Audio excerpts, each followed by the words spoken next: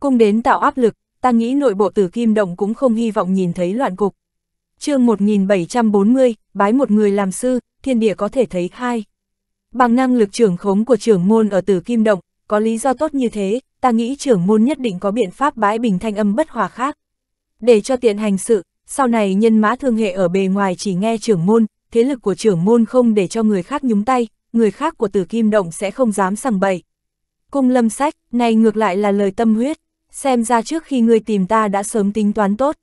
Ngưu hữu đạo, một chút tính toán là tất yếu, ta muốn bảo tồn thực lực. Còn có huynh đệ phía dưới theo ta nhiều năm như thế, ta không thể để cho bọn hắn như chó nhà có tang. Bọn hắn theo ta nhiều năm, vì ta vào sinh ra tử, ta làm sao cũng phải cho bọn hắn một con đường sống, cho bọn hắn một chút hy vọng, rất nhiều chuyện còn cần bọn hắn giúp ta đi làm.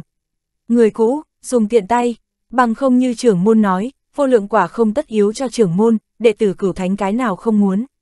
Nhưng bọn hắn bất kể là ai, đều không dám công khai đứng ra che chở người của ta, cho dù là trong bóng tối, cũng không dám dễ dàng nhúng tay sự tình các nước, ta đành phải dựa vào bản thân. Quan hệ lợi hại nói rất thấu triệt, cung lâm sách minh bạch.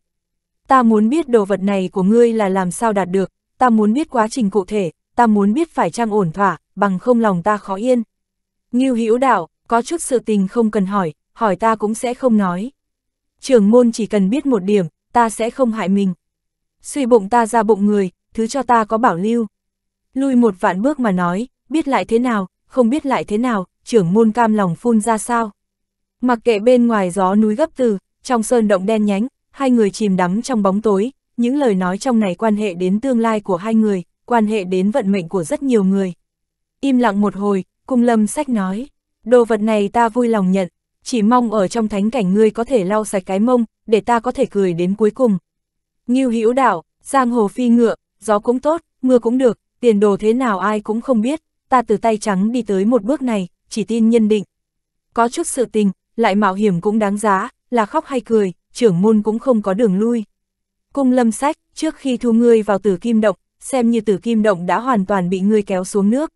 Ai, hiện tại ngươi hẳn là bất tiện lộ diện, tiếp đến, ngươi dự định lo liệu như thế nào?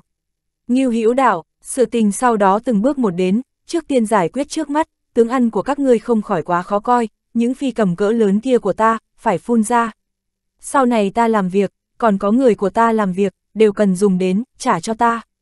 Cung lâm sách trầm mặc, nhíu mày lắc đầu nói, sự tình này không dễ xử lý, ta không có ý tứ khác, đến mức độ này, ta không có tất yếu tham những vật kia của ngươi, mà là quản phương nghi và viên cương đã ký xuống chứng tử hiến cho tử kim động, toàn bộ tử kim động sợ là đều biết, người bảo ta trả cho ngươi, ta làm sao trả.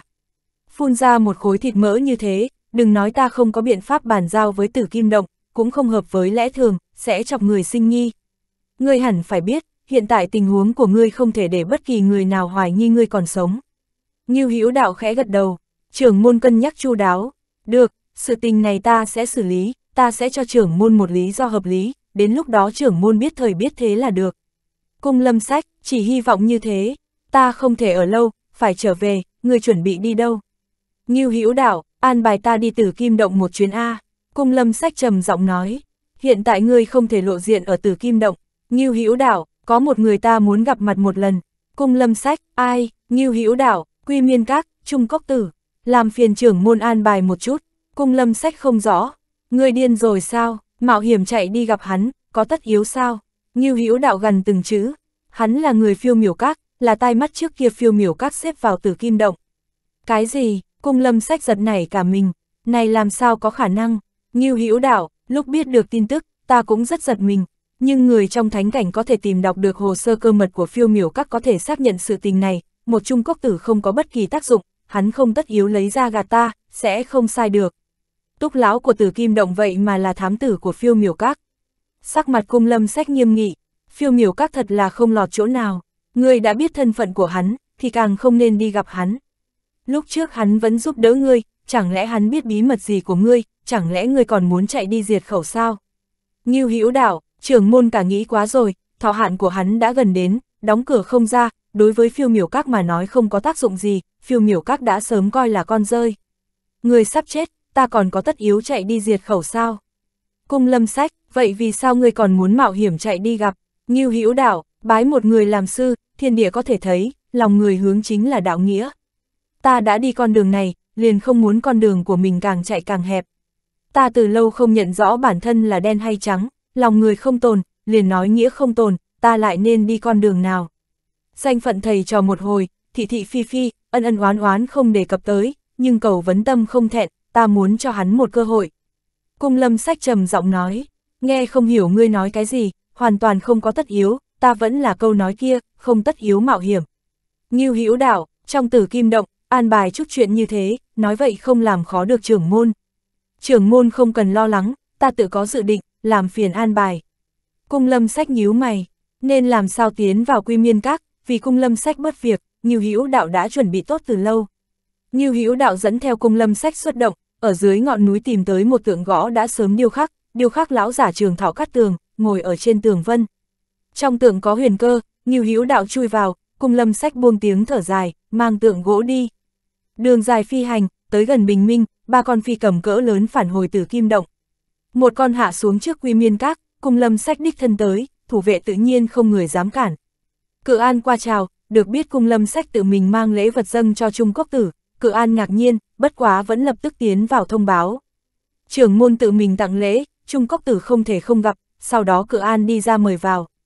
Cự An muốn hỗ trợ nâng lễ vật, nhưng cung lâm sách phất tay cự tuyệt, tự mình mang vào.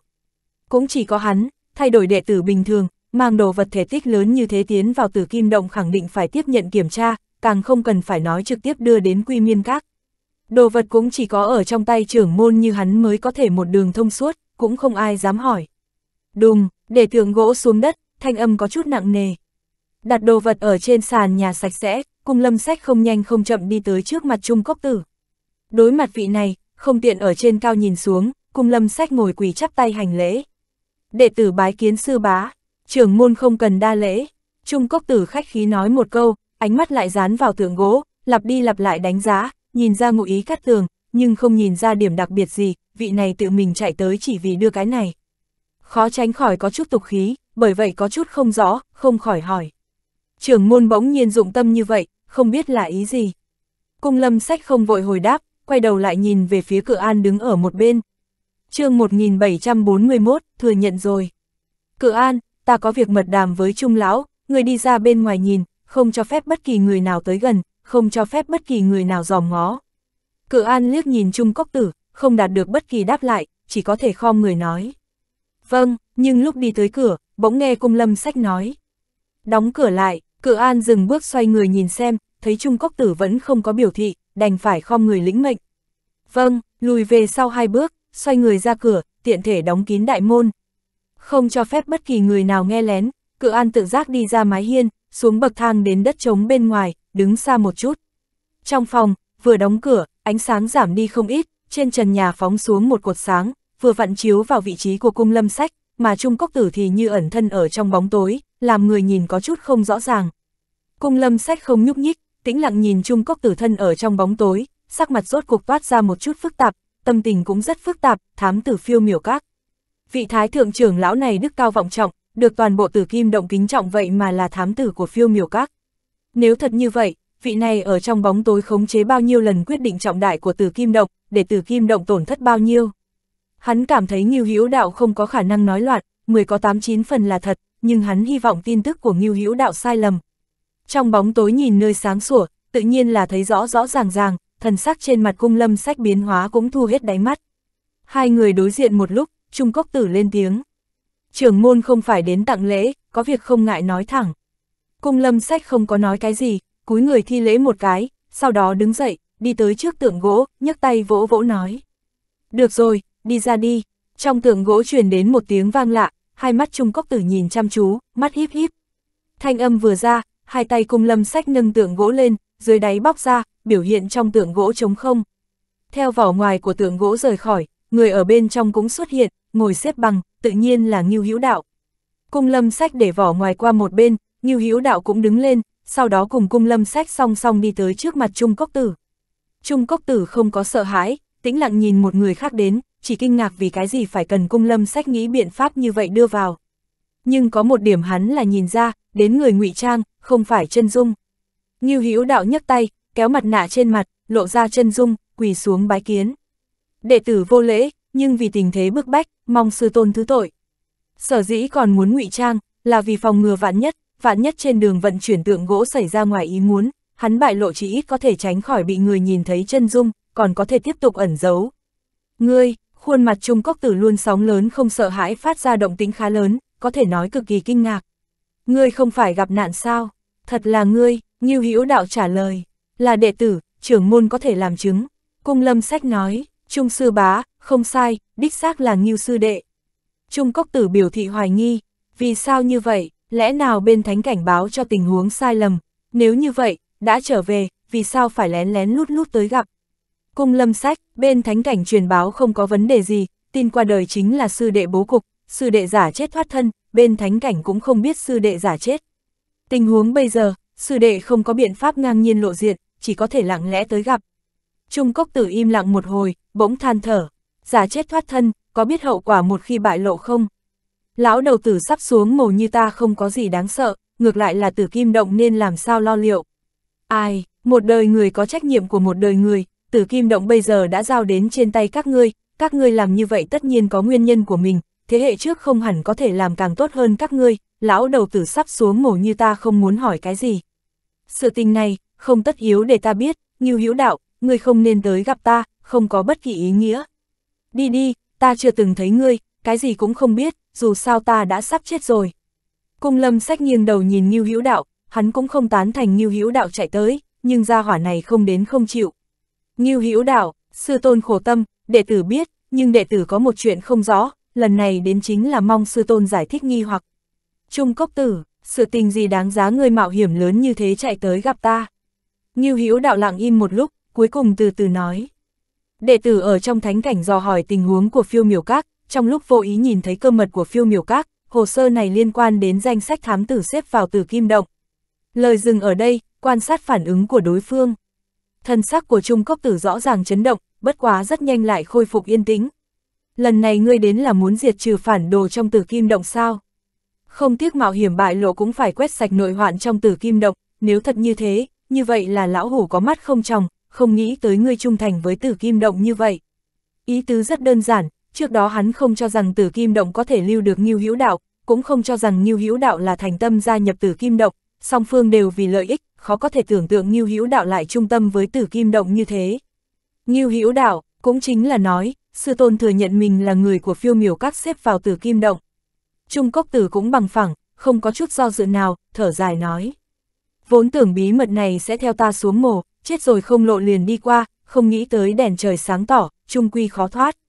Thừa nhận rồi, sắc mặt của cung lâm sách căng thẳng, cực kỳ khó coi, vậy mà là thật, đến mức độ này, trong lúc nhất thời cũng không biết nên nói cái gì cho phải, đối mặt tình huống của Trung Cốc Tử, là của trách hay đánh giết. Ba người có suy nghĩ riêng, trong điện an tĩnh một trận, cung lâm sách trầm giọng nói. Bên người ngài không có một con kim xí đưa tin, làm sao liên hệ phiêu miểu các. Bình thường có thể tiếp xúc ngài cũng chỉ có cửa an, chẳng lẽ cửa an cũng là người của phiêu miểu các. Trung Cốc Tử thở dài, chính bởi vì không muốn để đám người cửa an cuốn vào trong đó, không muốn bọn hắn lại bị phiêu miểu các lợi dụng, cho nên ta mới trốn ở trong này chờ chết, để mình mất đi giá trị lợi dụng. Cung lâm sách, ta không rõ ràng ý tứ của lời này. Sương hô đã từ đệ tử biến thành ta, đường đường trưởng môn tử kim động đối mặt phản đồ tử kim động đã khó giữ được cung kính. Trung cốc tử, ta và sư phó ngươi là cùng bối phận, ta là đại sư huynh, sư phó ngươi là sư đệ của ta, năm đó vô luận tư lịch hay năng lực, kỳ thực vị trí trưởng môn là của ta, còn chưa tới phiên sư phó ngươi đến tiếp trưởng tử kim động, sư tôn cũng có ý đồ truyền ngôi cho ta, nhưng ta lại ra chút sự tình. Cung lâm sách, sự tình này ta có biết một chút, ngài say rượu làm bậy, cưỡng gian một nữ đệ tử trong môn. Đây là chuyện xấu trong nhà, không thể truyền ra ngoài, sư tổ đè xuống sự tình này, nhưng đối mặt cao tầng tông môn tạo áp lực, ra loại sự tình kia sư tổ cũng không có biện pháp coi như sự tình gì cũng không phát sinh, cuối cùng làm ngài bỏ mất chức vị trưởng môn. Lẽ nào bởi vì cái này, ngài lòng mang oán hận, cuối cùng gia nhập phiêu miểu các. Đối với chuyện này, Ngưu Hữu Đạo có cái nhìn khác, đương nhiên cũng bởi vì hắn biết càng nhiều. Hắn nhớ xa như Lai nói qua, Trung Quốc tử gia nhập tử Kim Động không bao lâu liền thành người phiêu miểu các, thời gian hẳn là sớm hơn lúc Trung Quốc tử cạnh tranh chức trưởng môn rất nhiều.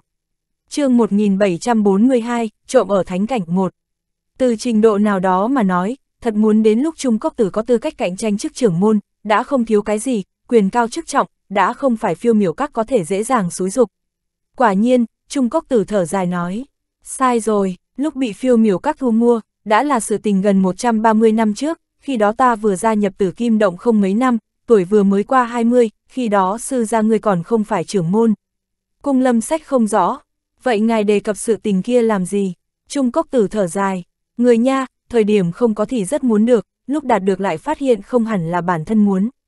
Tựa như một người nghèo, thời điểm nghèo, là lúc dễ dàng đi nhầm đường nhất, chỉ cần có thể phát tài, chỉ cần có người trả thù lao, có lẽ cái gì cũng dám làm, có lẽ cái gì cũng dám đáp ứng. Nhưng khi có tiền, đến độ cao nhất định, lại quay đầu nhìn xem việc xấu một đường đi tới, phát hiện rất khó coi, lúc hối hận không ngớt, muốn quên đi cũng đã muộn. Quay đầu lại, chờ đứng ở độ cao nhất định, mới phát hiện bản thân sai rồi. Mới phát hiện, phiêu miểu các có thể tìm tới ta không phải không có nguyên nhân, bọn hắn chân chính vừa ý hẳn là tiềm lực của sư gia ngươi, nhưng sư gia ngươi không dễ xúi dục, liền sớm bố cục ở trên người ta. Coi như ta không gia nhập phiêu miểu các, coi như không có phiêu miểu các ở trong bóng tối nâng đỡ, sau khi sư gia ngươi leo lên chức trưởng môn, ta ở trong tông môn tương lai cũng kém không đi nơi nào, nhưng khi đó quá trẻ, nôn nóng, chỉ vì cái trước mắt, nhìn không lâu dài, không chịu được thất lạc và tịch mịnh. Có lẽ chính là khi đó bực tức quá nhiều, mới bị phiêu miểu các nhìn chằm chằm. Cũng chính là khi đó, hắn gia nhập phiêu miểu các, trở thành mật thám của phiêu miểu các xếp vào tử kim độc, bắt đầu giúp phiêu miểu các cung cấp các loại tình báo, mà phiêu miểu các cũng sẽ vì để hắn thuận lợi hoàn thành nhiệm vụ môn phái bản giao, ở trong bóng tối cho một chút trợ giúp. Chờ sư phó thượng vị, bởi vì hắn là đệ tử tâm phúc của trưởng môn, đã có thể chạm đến cơ mật chân chính của tử kim độc, mà này cũng là phiêu miểu các muốn, hắn bắt đầu sợ. Mà thời điểm này nhất cử nhất động của sư phó đại biểu đều là toàn bộ tử kim động, bản thân mật báo rất có khả năng mang đến tai ương ngập đầu cho tử kim động. Càng trọng yếu là, dần dần lĩnh ngộ dụng tâm lương khổ của sư phó, kỳ thực sư phó đối đãi hắn không tệ, thậm chí có ý truyền vị trí trưởng môn cho hắn, hắn thật hối hận rồi. Khi toàn bộ đệ tử môn phái dần dần vì hắn vào sinh ra tử, nâng đỡ tài nguyên bắt đầu nghiêng cho hắn, hắn hổ thẹn, hối hận. Đến mức độ này, hắn rõ ràng biết một khi mình thành trưởng môn đối với tử kim động sẽ là hậu quả gì, phiêu miểu các sẽ không quan tâm đệ tử tử kim động chết sống, còn không biết sẽ lợi dụng tử kim động làm ra sự tình gì, này cũng là sự tình sớm muộn và tất nhiên. Lúc tuổi còn trẻ có chút lo được lo mất, vào lúc này hắn nhìn ra, là vô tri và buồn cười cỡ nào. Thế là hắn làm ra quyết định trọng đại, mượn rượu làm bậy, cưỡng gian nữ đệ tử đồng môn, tự mình ném đi trước trưởng môn. Sự tình này làm phiêu miểu các cực kỳ tức giận, nhưng sai đã sai, cộng thêm còn giá trị lợi dụng, phiêu miểu các cũng không làm gì được hắn. Không thể trở thành trưởng môn, thì thành trưởng lão tử kim động, giá trị lợi dụng cũng đề thăng, bên phiêu miểu các gia tăng cường độ lợi dụng. Trải qua một loạt sự tình, hắn mơ hồ nhận ra có chút sự tình không biết là phiêu miểu các quyết định, hay là một ít người trong phiêu miểu các quyết định, lợi dụng lực ảnh hưởng của hắn làm một số sự tình không thể cho ai biết. Ở dưới tình huống không song không dứt, hắn ý thức được sớm muộn gì cũng sẽ có chuyện, còn có khả năng liên lụy tới toàn bộ tử kim động. Thế là hắn lại làm ra quyết định trọng đại, đối mặt phiêu miểu các bức bách, ở trong một lần hành động hung hiểm của môn phái, hắn chủ động xin đi đánh giặc, không vận dụng người khác, chỉ vận dụng lực lượng của mình, kết quả tổn thất thảm trọng, cơ hồ làm thế lực của hắn ở tử kim động toàn quân bị diệt. Mà chính hắn cũng thiếu chút nữa mất mạng, người bị thương nặng quay về, tu dưỡng rất lâu mới khôi phục. Trải qua chiến dịch này, thế lực của hắn ở trong môn phái cơ hồ mất sạch, mất đi quyền lên tiếng trong tông môn, cũng ý nghĩa hắn mất đi giá trị lợi dụng mà phiêu miểu các muốn. Cũng bởi vì lần kia gần như toàn quân bị diệt, càng ngày càng để hắn nản lòng thoái chí. Hắn biết rõ, vì thoát khỏi phiêu miểu các kiềm chế, lần kia hắn hy sinh bao nhiêu đệ tử, hắn vốn định nhân cơ hội chết luôn, nhưng lại bị đồ đệ của mình liều mạng cứu đi. Mà sau đó các thế lực trong môn phái cạnh tranh, dựa vào lần thất bại kia, hắn ở trong cạnh tranh nhân cơ hội nhiều lần rơi xuống hạ phong, khó phát triển lên thế lực của mình, phiêu miểu các rốt cục không cách nào bức bách hắn được nữa.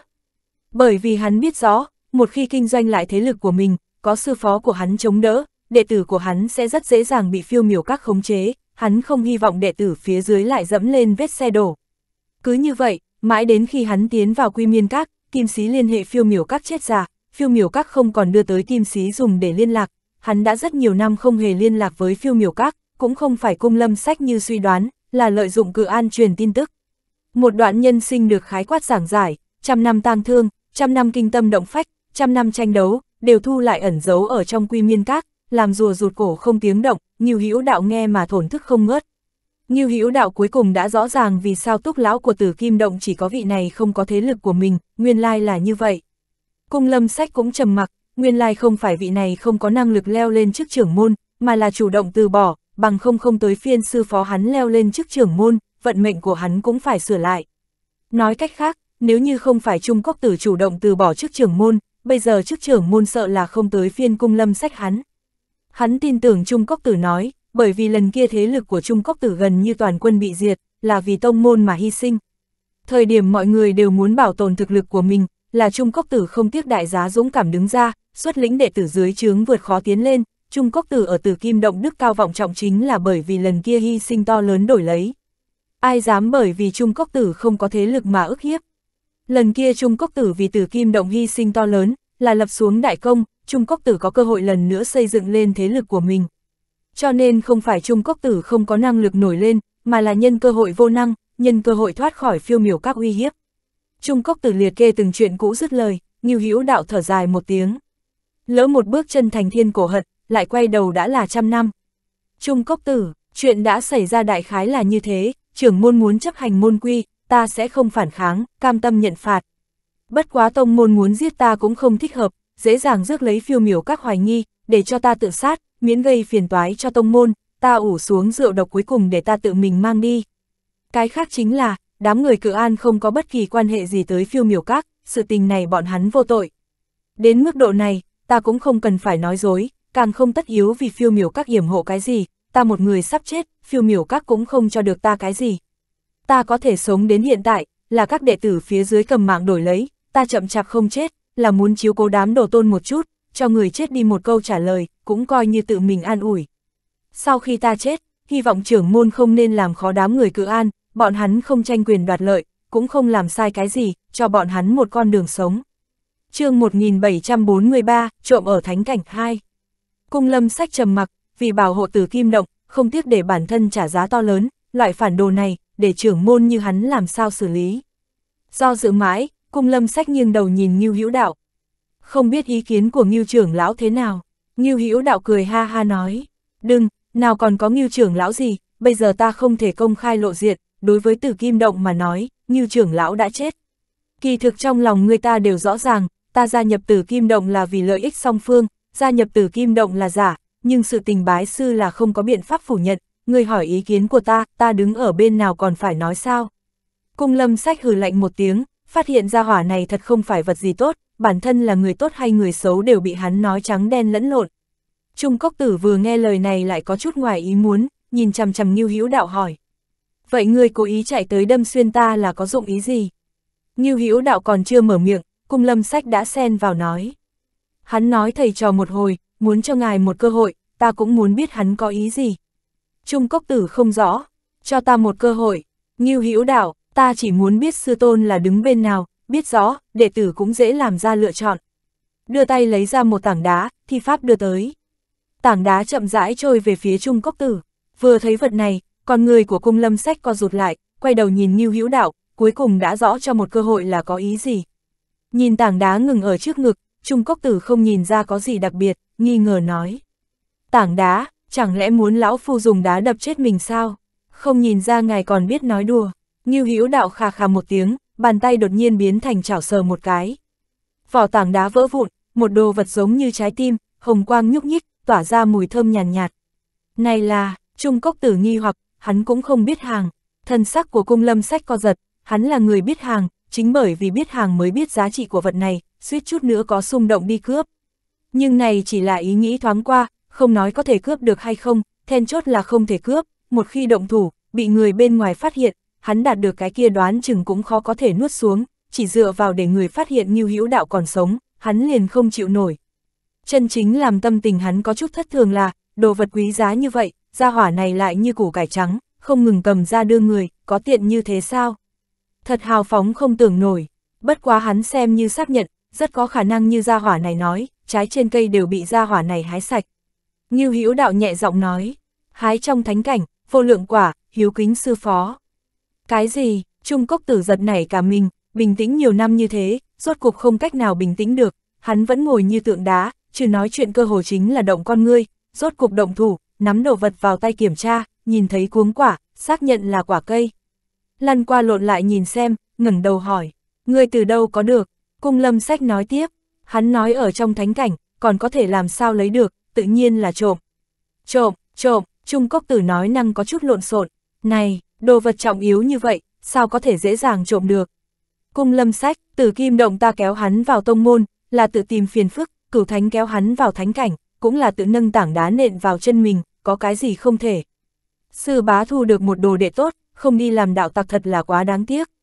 Như sư đệ, ta đột nhiên nghĩ tới một chuyện, năm đó đồn đại ngươi trộm xích dương chu quả của Đại Tuyết Sơn, sự tình kia sẽ không phải thật là ngươi làm chứ. Ngưu Hữu đạo nghiêng đầu hỏi, cung đại trưởng môn, ngươi như vậy là khen ta, hay mắng ta? Chỗ tốt không ít phần của ngươi chứ, tử kim động chiếm hết tiện nghi của ta, cũng không chịu thiệt nha. Cung lâm sách chán nản, sắc mặt trung cốc tử ngưng trọng nói, thánh cảnh mất đồ vật trọng yếu như vậy, cửu thánh sao có thể dễ dàng bỏ qua. Ngưu Hữu đạo cười ha ha nói, sư tôn lo xa rồi, lại nói, cửu thánh bỏ qua hay không bỏ qua đối với ngài mà nói có quan hệ gì, ngài một người sắp chết, còn sợ những cái kia sao? Sống lây mấy năm luôn tốt hơn chết sớm chứ. Đồ vật này cho ngài là thích hợp, trưởng môn dùng vật này còn phải trốn trốn tránh tránh bế quan, ngài không cần, dù sao vẫn trốn ở trong quy miên các, ai cũng sẽ không hoài nghi.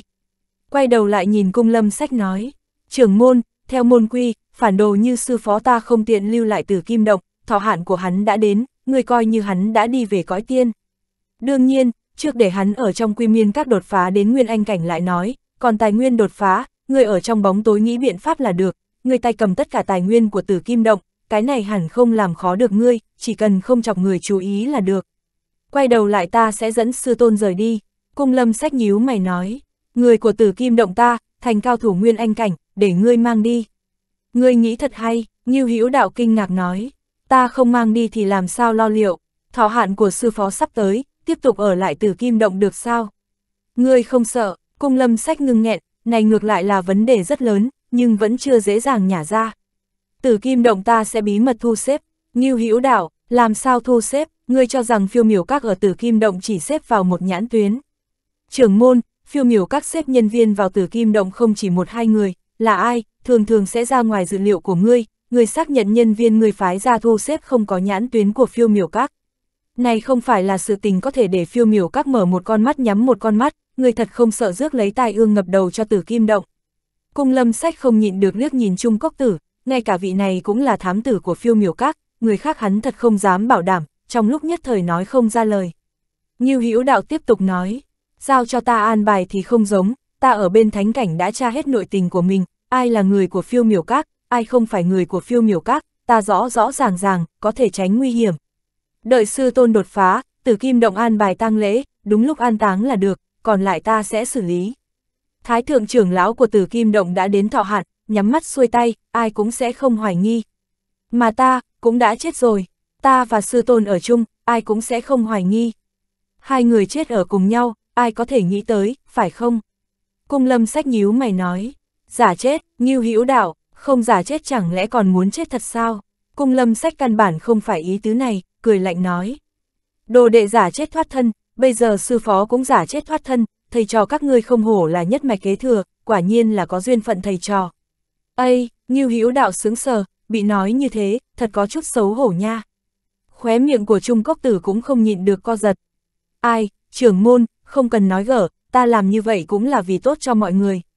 Sư tôn dụng tâm lương khổ ngươi cũng nghe được, tử kim động có việc, sư tôn còn có thể bỏ mặc không quan tâm sao.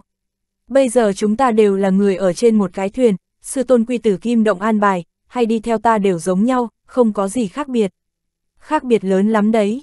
Cung lâm sách cười lạnh, hắn đã nhìn thấu mưu đồ của Ngưu Hữu Đạo, đây rõ ràng là muốn ở kiếm một tay chân nguyên anh cảnh, còn là sư phụ của mình, vấn đề an toàn còn cần lo lắng sao. Đạo lý đã quá rõ, sau khi Trung Cốc tử giả chết đột phá nào dám chạy loạn khắp nơi, một khi thoát ly tử kim động khống chế theo Ngưu Hữu Đạo, tất nhiên sẽ ở bên người Ngưu Hữu Đạo. chương 1744, công báo tư thù. Thực lực của Trung Cốc tử mạnh đến đâu, cũng không dám tùy ý liên hệ người khác, bên người không có thế lực của mình, trình độ hiểu rõ tình huống bên ngoài như thế nào còn không phải Ngưu Hữu Đạo định đoạt, muốn để Trung Cốc tử biết cái gì, không muốn để cho Trung Cốc tử biết cái gì, đều là ý chí của Ngưu Hữu Đạo. Bất quá hắn không có chọc thùng, bởi vì Ngưu Hữu Đạo nói cũng có đạo lý, có chút sự tình phiêu miểu các có thể mở một con mắt nhắm một con mắt, nhưng có sự tình là không thể bỏ mặc, phiêu miểu các thẩm thấu vào từ kim động sâu bao nhiêu căn bản không rõ ràng, Trung Cốc Tử tiếp tục lưu lại từ kim động xác thực sẽ mang đến phiền toái rất lớn. Then chốt là hắn cũng đạt được một trái vô lượng quả, tuyệt đối không hy vọng mạo hiểm lớn như thế. Trung Cốc Tử lấy được vô lượng quả, mới đầu còn rất kích động, nhưng nghe hai người cằn nhằn, bị kéo trở về hiện thực, càng nghe càng không đúng.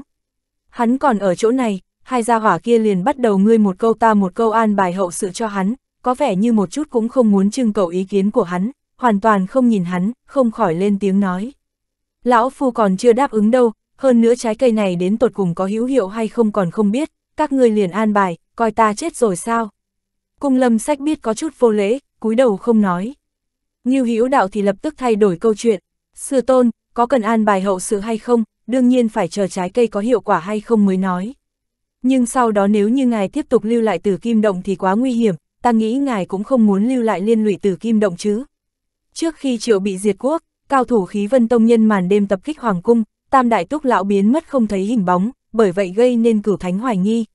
Tổng quản thái giám ra cắt chỉ bên người hải vô cực, cửu thánh hoài nghi hắn đã đột phá nguyên anh cảnh, bây giờ đã lệnh người ở khắp thiên hạ bí mật lùng bắt, đây là vết xe đổ. Sư tôn ngài, ta, còn có trưởng môn, trước mắt bí mật toàn bộ tử kim động chỉ có ba người chúng ta biết, cũng chỉ có ba người chúng ta mới có thể yên tâm. Ở ngoài tử kim động, phóng tầm mắt nhìn lại, ngài cũng chỉ có ở bên đệ tử mới ổn thỏa nhất. Trung cốc tử nhìn cung lâm sách, trưởng môn cũng đạt được vô lượng quả, Ngưu Hữu đạo giúp cung lâm sách trả lời. Tối hôm qua hắn cầm một cái, hiện tại hẳn còn ở trên người. Cung lâm sách liếc hắn một cái, dường như đang trách hắn nhiều lời. Trung cốc tử lại hỏi, không biết trưởng môn dự định xử trí ta thế nào. Cung lâm sách trầm mặc, sư bá, sự tình đã nói rõ ràng, hơn nữa đã đến mức độ này, truy cứu gì đó thật không có ý nghĩa, coi như ưu khuyết điểm bù đắp đi. Trung cốc tử lại dán mắt vào nghiêu hữu đạo, nâng trái cây trong tay lên.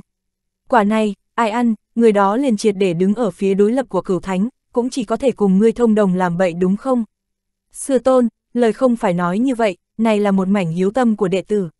Lại nói, Ngưu Hữu đạo nhìn cung lâm sách chép miệng, hiện tại ngài không ăn cũng không được, nếu ngài không ăn, sợ rằng trưởng môn là cái thứ nhất sẽ không bỏ qua cho ngài.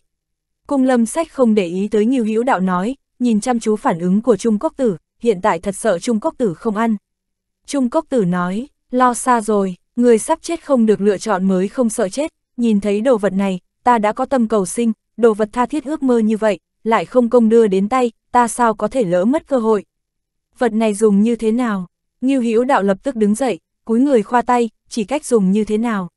Cung lâm sách cũng tới gần, trợn to hai mắt nhìn, dựng thẳng lỗ tai lên nghe, hắn cũng không biết dùng như thế nào, phải học. Được bàn giao rõ ràng, Trung Cốc Tử gật đầu, phất tay chào một cái, một cái hộp bay tới, mở hộp ra, để vô lượng quả vào trong đó, hồng quang biến mất không thấy gì nữa. Vô lượng quả cũng không phải nói dùng thì có thể dùng, chỉ ít cần hoàn cảnh an tĩnh và đầy đủ thời gian, không dung quấy dày, không làm tốt tất cả chuẩn bị là không ai dám ăn. Sự tình nơi đây xong xuôi, cung lâm sách quay đầu lại nhìn tượng gỗ.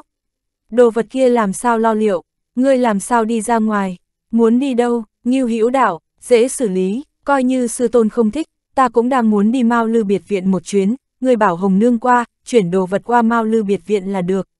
Còn rời tông môn, không phải các ngươi hạn định bọn hắn trong ba ngày rời đi sao? Đến thời điểm đó ta trộn lẫn ở trong bọn hắn cùng rời đi, người hơi phối hợp một chút là được. Đừng nhìn ta như thế, ta biết người muốn nói cái gì. Tối hôm qua trước khi ngươi nhìn thấy ta, ta đã gặp đám người hồng nương, nàng đã biết ta còn sống. Ngươi yên tâm, hiện tại ta đi mau lưu biệt viện sẽ không để người khác nhìn thấy, ta muốn gặp hồng nương, kế hoạch tiếp đến phải có ta tự mình bố trí. Cung lâm sách, ngươi phải cẩn thận, tốt nhất không nên xảy ra ngoài ý muốn. Ngưu hữu đạo, bên ta sẽ không có sự tình gì, ngược lại là bên ngươi, thánh cảnh lệnh tử kim động bổ sung nhân tuyển, ngươi cân nhắc tốt để ai mang đội đi chưa? Nói đến cái này, cung lâm sách cũng có chút đau đầu. Ngươi cũng chết ở bên trong, ai còn nguyện ý đi? Không ai muốn đi, đều tìm lý do từ chối, nhất thời khó có thể quyết đoán. Ngưu hữu đạo, có muốn ta cho ngươi một cái chủ ý hay không? Gia hỏa này luôn có biện pháp hay, cung lâm sách liếc hắn một cái nói. Nói nghe một chút, Ngưu hữu đạo, ta cảm thấy nghiêm lập đi thánh cảnh thích hợp nhất. Hành động của nghiêm lập đã làm cho hắn rất khó chịu, ngay cả hắn chết rồi cũng còn muốn đối phó người Mao Lư Sơn Trang, lại lưu hắn ở bên ngoài, sợ là có cơ hội còn sẽ tìm Mao Lư Sơn Trang phiền phức, để tìm về mặt mũi, nên trực tiếp đưa đối phương vào thánh cảnh chịu tội đi.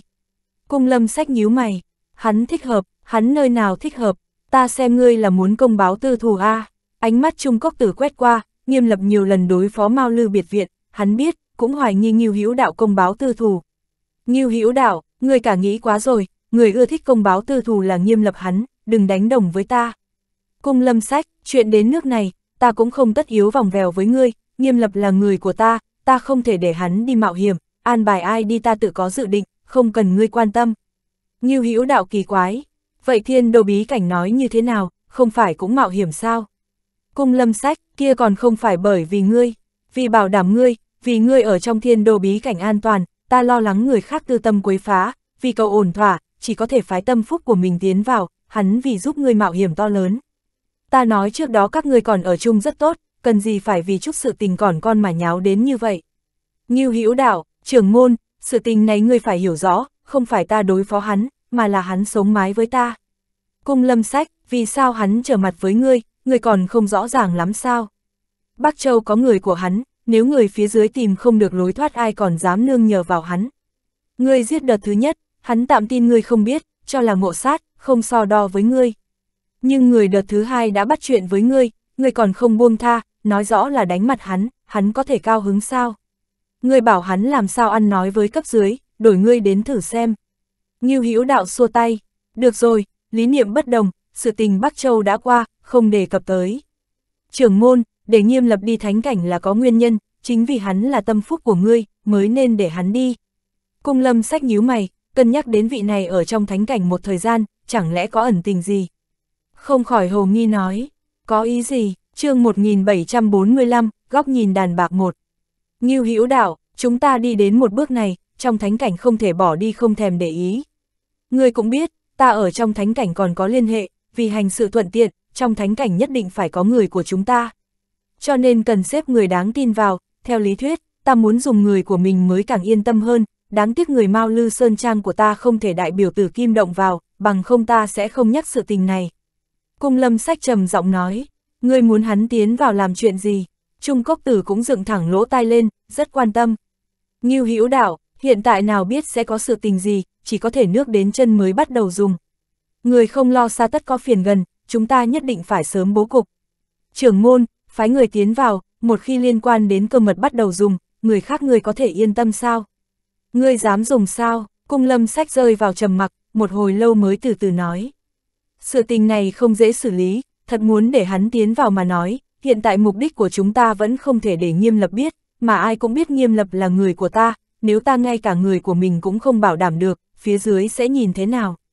Chuyện nhỏ, Ngưu Hữu đạo xua tay, ta có một kế dâng cho trưởng môn, bốc thăm là được. Công bằng công chính, nghiêm lập rút chúng cũng không thể nói gì được.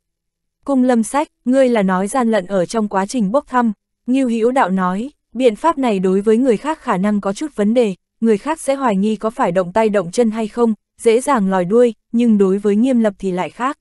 Nghiêm lập là tâm phúc của ngươi, hắn làm sao cũng sẽ không hoài nghi ngươi gian lận nhầm vào hắn. Kết quả đi ra, nghiêm lập không thể làm gì, người khác cũng sẽ tán thưởng trưởng môn công chính nghiêm minh. Trưởng môn, đây chính là một biện pháp tốt nhất, cái gọi là người trong cuộc mơ hồ người bên ngoài rõ ràng, Trung Cốc Tử ít nhiều phát giác được chút mùi vị, mặc kệ như Hữu Đạo nói thật hay giả, Nghiêm Lập nhiều lần đối phó người Mao Lư biệt viện, Ngưu Hữu Đạo xuất hiện muốn đưa Nghiêm Lập đi thánh cảnh là thật, thấy thế nào cũng giống như là Ngưu Hữu Đạo muốn thu thập Nghiêm Lập. Mà nhìn phản ứng của cung lâm sách, lần này sợ là Nghiêm Lập chạy trời không khỏi nắng rồi. Mặc kệ có nhìn ra cái gì hay không, Trung Cốc Tử cũng không hé răng, ngược lại không phải đứng ở bên Ngưu Hữu Đạo, mà là không tất yếu tỏ thái độ, mặc kệ từ Kim Động làm như thế nào cũng phải phái ra một trưởng lão, nghiêm lập không đi thì cũng phải có người khác đi. Cung lâm sách không cự tuyệt cũng không đáp ứng, này kỳ thực chính là một loại thái độ. Sự tình nghiêm lập tạm không đề cập tới, chỉ nói sự tình sau khi Ngưu Hữu Đạo rời đi, cung lâm sách và hắn thương lượng, xác lập phương thức liên hệ. Sau đó Ngưu Hữu Đạo bái biệt Trung Cốc Tử, lại chui trở về trong tượng gỗ. Cung lâm sách thì mở đại môn, gọi cử an qua, lệnh hắn phái người đi mau lư biệt viện một chuyến, mời quản phương nghi qua. Trưởng môn có lệnh, người được phái ra tự nhiên là đi nhanh về nhanh, quản phương nghi cũng theo đến rồi. Quản phương nghi không biết tìm mình làm gì, nàng là lần thứ nhất bước vào quy miên các, vừa thấy cung lâm sách liền chào hỏi, không nhịn được chào phúng. Trước nhiều lần cầu kiến cung trưởng môn mà không được, bây giờ cung trưởng môn rốt cục trở về. Biết đạo gia trở về, nàng đã có niềm tin, nói ra cũng có chút không quá khách khí. Mặc kệ có phải đuối lý hay không, cung lâm sách cũng khinh thường tính toán với nàng, trước kia đích xác là quý mến qua nữ nhân này, nhưng vô duyên vô phận, tuổi trẻ bồng bột chuyện cũ đã qua, bây giờ sẽ không coi nàng là chuyện to tát, cũng lười cãi lại. Đợi quản phương nghi hành lễ với Trung Cốc Tử xong, cung lâm sách mới nói. Hồng Nương, đồ vật này ngươi mang về mau lư biệt viện đi. Ngón tay chỉ tượng gỗ, quản phương nghi quay đầu nhìn lại, hồ nghi nói. Đồ vật gì, cung lâm sách, lễ vật bản tọa đưa cho Trung Lão, Trung Lão chuyển tặng cho mau lư biệt viện, mang đi đi. Quản phương nghi đi tới bên tượng gỗ, xoay quanh nhìn một chút, lại đưa tay sờ sờ, sau đó nhìn Trung Cốc Tử nói. Trung Lão, ý tốt của ngài mau lư biệt viện trên dưới chân thành ghi nhớ, chúng ta sắp bị người đánh đuổi, mang vật phẩm lớn như thế thực rất bất tiện. Nàng khéo léo từ chối, Trung Cốc Tử lên tiếng, tông môn quyết định, lão phu không tiện nhiều lời cái gì. Mang đi đi, trên đường nếu như có người làm khó dễ, có thể chuyển đồ vật này ra thử xem, đồ vật của lão phu, tâm ý của trưởng môn, có lẽ hữu dụng. Quản phương nghi nghe hiểu, này là lo lắng bọn hắn ở trên đường bị người tử kim động làm khó dễ, muốn cho bọn hắn một tấm bùa hộ mệnh. Nhưng đạo gia trở về, nàng đã không còn lo lắng, mang vật phẩm lớn như thế thật rất bất tiện, lòng không muốn, nhưng lại là tâm ý của người ta, nên có chút do dự. Nàng có chỗ không biết, Trung quốc Tử nói kỳ thực không phải nói cho nàng nghe, mà là nói cho cự an nghe. Không phải không tin cự an, có chút sự tình có tin hay không không quan hệ, đồ vật rời vào chuyển ra quá trói mắt, là cho ngoại nhân một lời giải thích. Thấy nàng do dự, cung lâm sách đi đến bên người nàng, thấp giọng nói. Ngưu Hữu đạo ở bên trong, ánh mắt của quản phương nghi sáng lên, lập tức cảm ơn hảo ý của Trung Cốc Tử, cáo tử, khiêng tượng rời đi. Trên đường thi pháp thăm dò, phát hiện bên trong quả nhiên ẩn giấu người, khóe miệng quản phương nghi lộ ra quỷ tiếu. Trở lại Mao Lư biệt viện, phân phó không để người tới gần, vào nhà đóng cửa, quản phương nghi trực tiếp đập tượng gỗ xuống đất. Nhưng tượng gỗ rất chắc, không có vỡ, ngã ở trên mặt đất quay cuồng một trận. ầm, um, người bên trong nhận ra được không đúng, trực tiếp phá tượng bò ra, lắc lắc đầu, nhìn quản phương nghi mắng. Bà nương điên, ai trêu người chọc người hả? Trước căn bản không có phòng bị, nên bị đập có chút choáng váng. Quản phương nghi che miệng ngừng cười, nha một tiếng. Đạo ra, sao ngài lại trốn ở trong này? Ngươi nhỏ giọng một chút, Ngưu Hữu đạo tranh thủ nhắc nhở một tiếng, chỉ chỉ bên ngoài, ra hiệu đừng để người nghe được. Quản phương nghi cười khanh khách dính sát vào, đôi tay trực tiếp quấn lấy người hắn. Ngã đau không, để ta nhìn xem, đi đi đi, đừng có ra vẻ. Ngưu Hữu đạo đẩy tay nàng ra, đi tới bên giường ngồi xuống, chỉ chỉ tượng gỗ. Nhớ xử trí sạch sẽ. Vâng, quản phương nghi rất thục nữ nửa ngồi nửa quỳ lĩnh mệnh, sau đó bước nhanh đi tới bên giường ngồi xuống, cánh tay choàng lấy vai Ngưu Hữu đạo. Ngươi đến làm gì, có biết cái gì gọi là nam nữ thủ thụ bất thân không?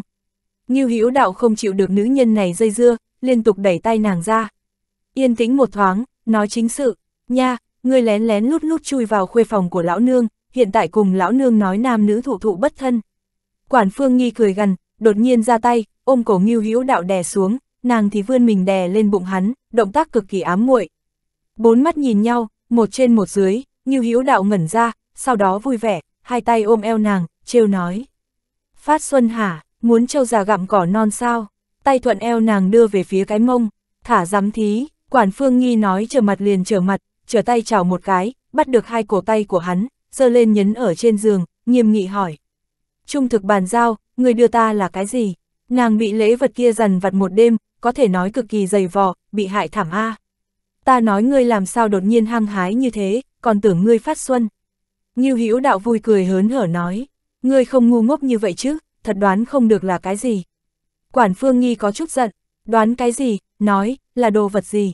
Ngưu Hữu đạo than thở, thả ta ra, ngươi nằm nhòi ở trên người ta, để ta làm sao nói. Quản Phương Nghi, nói trước, không nói, ta sẽ hô phi lễ.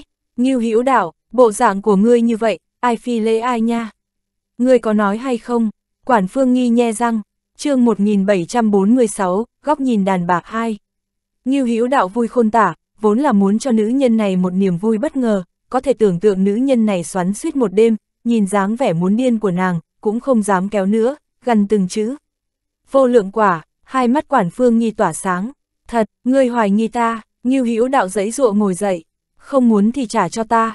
Cút, quản phương nghi buông tay, nhấn đầu hắn trở về, mình cũng vươn mình lên, tiện tay bắt được vạt áo của Ngưu Hữu đạo.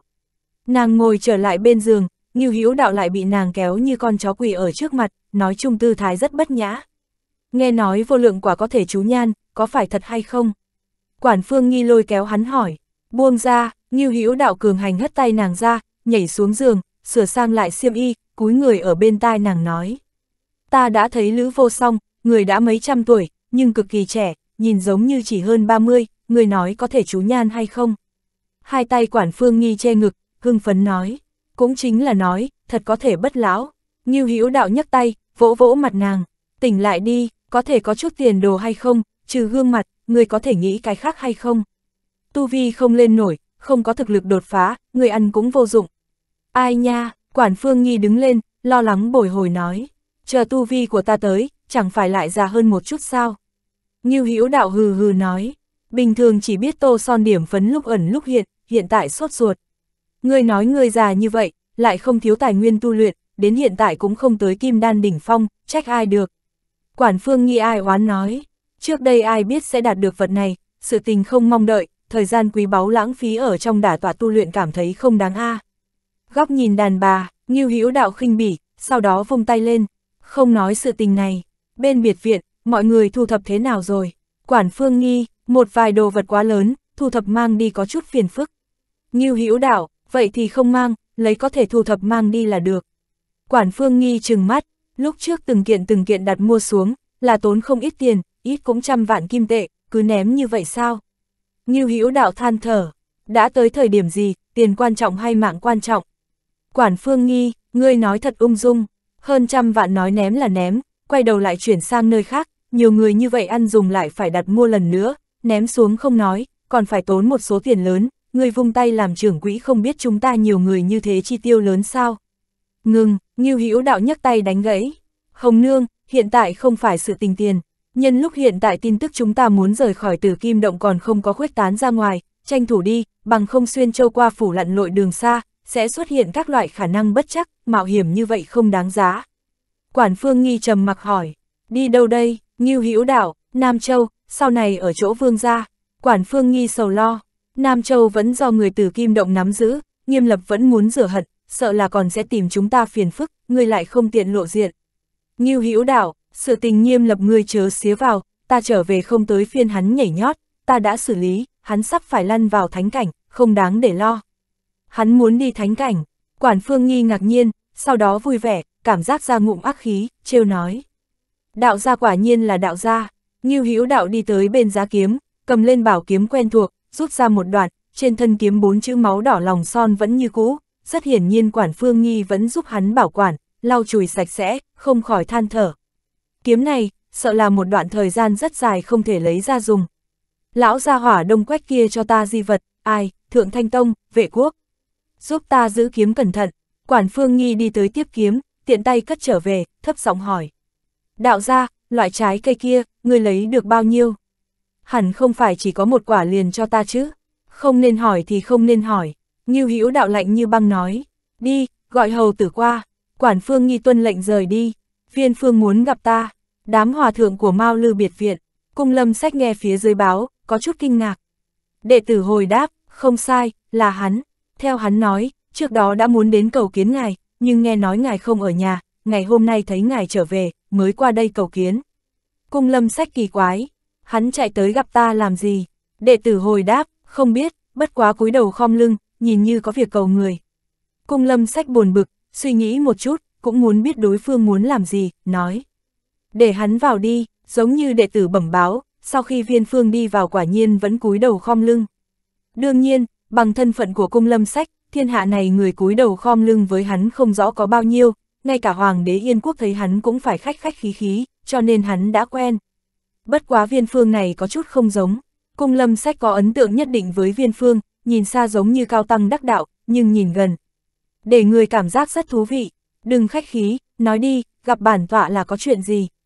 Cung lâm sách lạnh nhạt nói, trưởng môn, là như vậy, nghe nói người Mao Lư biệt viện muốn rời khỏi tử kim động, nhưng tăng chúng của Nam Sơn tự có ý nghĩ khác, muốn lưu tại tử kim động tiếp tục hiệu lực cho tử kim động. Viên phương cẩn thận từng ly từng tí, nói xong quan sát phản ứng của đối phương. Tiếp tục hiệu lực, cung lâm sách lạnh lùng nói. Nói giống như người thật vì tử kim động ta hiệu lực qua vậy, có sao?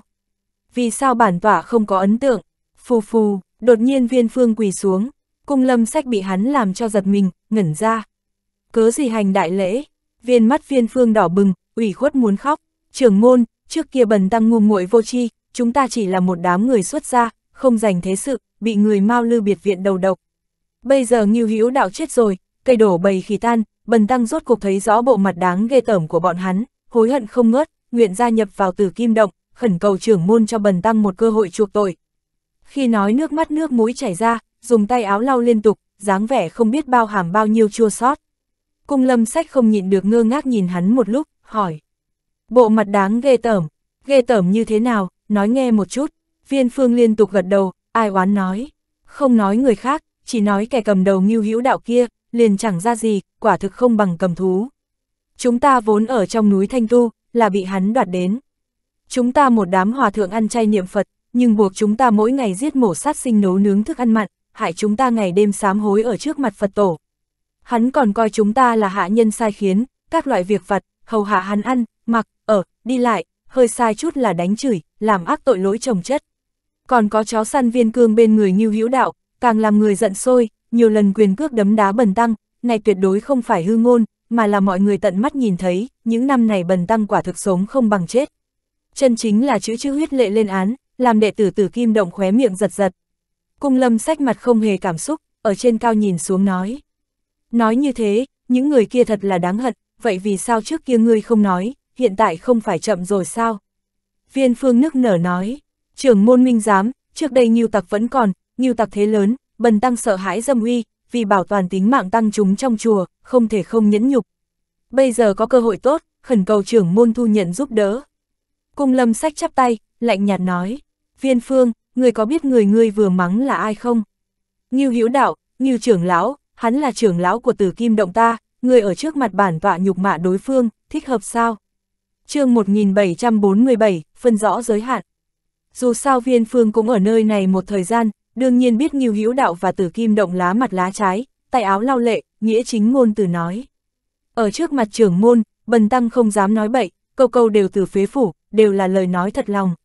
Không giấu trưởng môn, nếu như trước đó không phải nghiêu tặc thế lớn, nếu như không phải lo lắng tính mạng của tăng chúng, bần tăng hận không thể bất cứ giá nào, hận không thể hạ độc ở trong cơm nước của nghiêu tặc, hận không thể độc chết hắn. Bây giờ thiên khiển báo ứng, quả thực xác đáng. Cung lâm sách nhíu mày, phát hiện vị này vì ngả về phía tử kim động, thật là cái gì cũng dám nói, chân chính là muốn triệt để phân rõ giới hạn với Ngưu Hữu Đạo A. Hắn hơi buồn bực, Ngưu Hữu Đạo cũng coi như một nhân vật, bao nhiêu người mơ ước mà không thể được vô lượng quả cũng có thể trộm ra khỏi thánh cảnh, lại nhìn nhầm thu đồ vật ăn cây táo rào cây sung như thế, tặc ngốc này cũng coi như ở bên người Ngưu Hữu Đạo hầu hạ nhiều năm, Ngưu Hữu Đạo lại không nhìn ra, còn dám đặt ở bên người hầu hạ. Thấy cung lâm sách không lên tiếng, viên phương cũng không biết tâm tư của hắn như thế nào, lại bổ sung. Trên tay đám người bần tăng nắm giữ phương pháp cất rượu của Mao Lư Biệt Việt, nguyện vì trưởng môn ra sức châu ngựa, khẩn cầu trưởng môn thu nhận giúp đỡ. Ánh mắt cung lâm sách lấp lóe, cân nhắc một lúc, sau đó hỏi. Ngưu Hữu đảo ân, người Mao Lư Biệt Viện đồng ý người rời đi sao? Viên phương âm vang đanh thép nói, không cần người Mao Lư Biệt Viện đồng ý, ở từ Kim Động cũng không tới phiên bọn hắn định đoạt, bản thân bần tăng liền có thể làm chủ. Vốn muốn đi, nhưng quản phương nghi hảo tâm để hắn đến nương nhờ vào, nhưng hắn vì phân rõ giới hạn, vì cùng rũ sạch quan hệ với Mao Lư Biệt Viện, nên nói là chủ ý của mình. Cung lâm sách khẽ vuốt cầm nói, được rồi, tâm ý của ngươi bản tọa đã biết, ngươi đi về trước đi. Trưởng môn, viên phương còn muốn trả lời xác thực, cung lâm sách, ngươi đi về trước, sẽ có người an bài. Bản tọa còn có việc quan trọng, không có thời gian ở cùng ngươi. Vâng vâng vâng, viên phương đáp ứng, mặt mày hớn hở, còn dập đầu mấy cái mới bỏ lên, lui ra. Cung lâm sách thầm thì, cái đồ vật gì a Quay đầu lại nhìn đệ tử của mình nói. Hắn mới vừa nói, người đều nghe rõ chứ. Đệ tử hồi đáp, nghe được, cung lâm sách, người đi mau lư biệt viện, tìm Hồng Nương, hắn mới vừa nói kể rõ cho Hồng Nương, để bọn họ tự mình xử lý đi. Này, đệ tử có chút do dự, nhắc nhở. Sư tôn, phương pháp cất rượu kia là tài lộ, tặc ngốc này đã nguyện ý chủ động hiệu lực, sao chúng ta không biết thời biết thế? Cung lâm sách hỏi ngược lại, cái tài lộ gì, hiện tại tần quốc tan hoang thành cái dạng gì, người không nhìn thấy sao? Sự tình này trong lòng ta rõ ràng, tự có quyết đoán. Vâng, đệ tử chắp tay lĩnh mệnh, sau đó bước nhanh rời đi. Bên cạnh không người, cung lâm sách chắp tay đi qua đi lại, không phải hắn không muốn lưu lại tài lộ này, mà là hiện tại tình huống có biến, lưu lại không quá thích hợp. Nguyên nhân ở trên người Ngưu Hữu Đạo, Ngưu Hữu đạo ngay cả mấy con phi cầm cũng muốn đòi lại, tài lộ này sợ là sẽ không dễ dàng đưa người, nói chung Ngưu Hữu đạo chắc chắn sẽ không dễ dàng buông tay, thời điểm này không nên dằn vặt. Trong phòng quản Phương Nghi, Ngưu Hữu đạo đang căn dặn phân phó Viên Cương một chút hạng mục. Quản Phương Nghi đi ra ngoài một thoáng thì trở về, Ngưu Hữu đạo hỏi: "Đệ tử Cung Lâm Sách tìm ngươi có chuyện gì?" Quản Phương Nghi có chút nghiến răng, Viên Phương quá không phải thứ tốt gì, trước ta hảo tâm để hắn lưu lại từ kim động, hòa thượng này vì quy hàng, vậy mà chạy đến trước mặt cung lâm sách lẫn lộn phải trái trắng đen, nói hưu nói vượn. Nàng thuật lại một lần, ánh mắt phiên cương phát lạnh, nhìn về phía Ngưu Hữu Đạo. Khóe miệng Ngưu Hữu Đạo dương lên, ha ha một tiếng. Lão hùng này thật là chó không đổi được thói quen ăn cứt. Quản phương nghi ngược lại có chút kỳ quái. Cung lâm sách cố ý để đồ đệ qua nói sự tình này với ta là dụng ý gì. Ngưu Hữu Đạo mỉm cười, nàng không biết, hắn lại biết, vừa nghe liền minh bạch ý tứ của cung lâm sách. Tình huống của hắn và cung lâm sách bây giờ, không cho phép sơ sẩy bất cẩn, bên người có loại người như viên phương, quá nguy hiểm, một khi cận thân tiếp xúc mà nói, rất dễ dàng bại lộ bí mật hắn còn sống, cung lâm sách nhắc nhở hắn cẩn thận một chút, để hắn xử lý mầm họa này.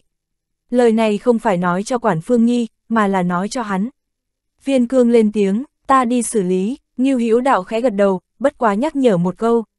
Cánh rừng lớn chim gì cũng có, cho phép tính đa dạng tồn tại, mới có không gian điều chỉnh rộng rãi, ai không có bị người mắng qua chứ, đạo đức của lão hùng kia chúng ta đều rõ, đừng quá tích cực, có chừng có mực là được. Viên cương không có nhiều lời, xoay người rời đi, khóe miệng quản phương nghi hơi động, cuối cùng cười khổ, đoán chừng viên phương muốn xui xẻo rồi.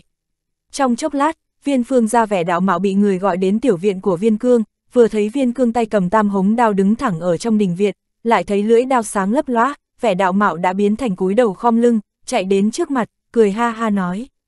Viên ra, ngài tìm ta, viên cương mặt không chút thay đổi nói. Sắp phải đi rồi, bên người thu thập xong chưa? Ây, cái này sao? Vẻ mặt viên phương làm khó dễ, cẩn thận nói. Viên ra, Hồng Nương nói để chúng ta lưu lại từ kim động. Viên cương, nếu ta muốn các người theo chúng ta đi thì sao? Viên phương nhất thời khổ sở nói. Viên ra, cái này không được đâu, Hồng Nương nói, ta theo các ngươi sẽ trở thành trói buộc. Kỳ thực Hồng Nương nói cũng có đạo lý, chúng ta đích xác là trói buộc, ở chung nhiều năm như thế, chúng ta thật không muốn liên lụy các ngươi nữa. Viên cương, không sao, tuy đạo gia không còn, nhưng cũng không thể bỏ xuống các ngươi mặc kệ. Viên phương than thở, hảo ý của viên gia ta chân thành ghi nhớ, thật không cần. Ai, tuy đạo gia không còn, bất quá ngài yên tâm, tăng chúng của Nam Sơn tự ta nhất định sẽ ngày ngày cầu phúc cho đạo gia, chúc đạo gia sớm đăng cực lạc. Lưỡi đao trong tay viên cương xoay một cái, lạnh lùng nói. Đi hay không đi, ánh đao lóe lên, viên phương sợ hãi, khiếp đảm lùi về sau một bước, lớn tiếng nói. Đi, viên gia nói đi, chúng ta thể chết nghe theo, tuyệt không hai lời. Trong lòng thì khổ sở, nói với cung lâm sách tốt rồi, nếu như không lưu lại mà nói, chẳng phải thành đùa người ta, cơn giận của trưởng môn tử kim động, bản thân không chịu nổi a. Nhưng đối mặt vị này, trước mắt hắn cũng không chịu nổi, lập tức thức thời, chuẩn bị quay đầu lại tìm Hồng Nương nói một chút, hoặc đúng lúc thông báo cung lâm sách ra mặt. Viên cương xoay ngang đao trong tay, nghe nói tu vi của ngươi có tăng trưởng, đao thương bất nhập, hôm nay đao trong tay ta ngược lại muốn thử xem một chút. Sao đột nhiên lại bốc lên chuyện này? Viên phương chấn kinh, liên tiếp lui về phía sau khoát tay nói. Viên ra, này là cớ gì? Viên cương, ngươi không phải nói sợ mình thành trói buộc của chúng ta sao? Có phải trói buộc hay không, ta thử xem liền biết. Viên phương trợn to hai mắt, viên ra, ta nói sẽ đi a Viên ra, ngài đừng tới đây, ta kiến thức qua đại đao của ngài, ngàn vạn lần không được, sẽ chết người đó. Tốt, đao trong tay viên cương đâm ra, cắm ở trên đất, người như tật phong bắn ra, người mượn thế sông, một chân gào thét đá tới, nhanh như mị ảnh.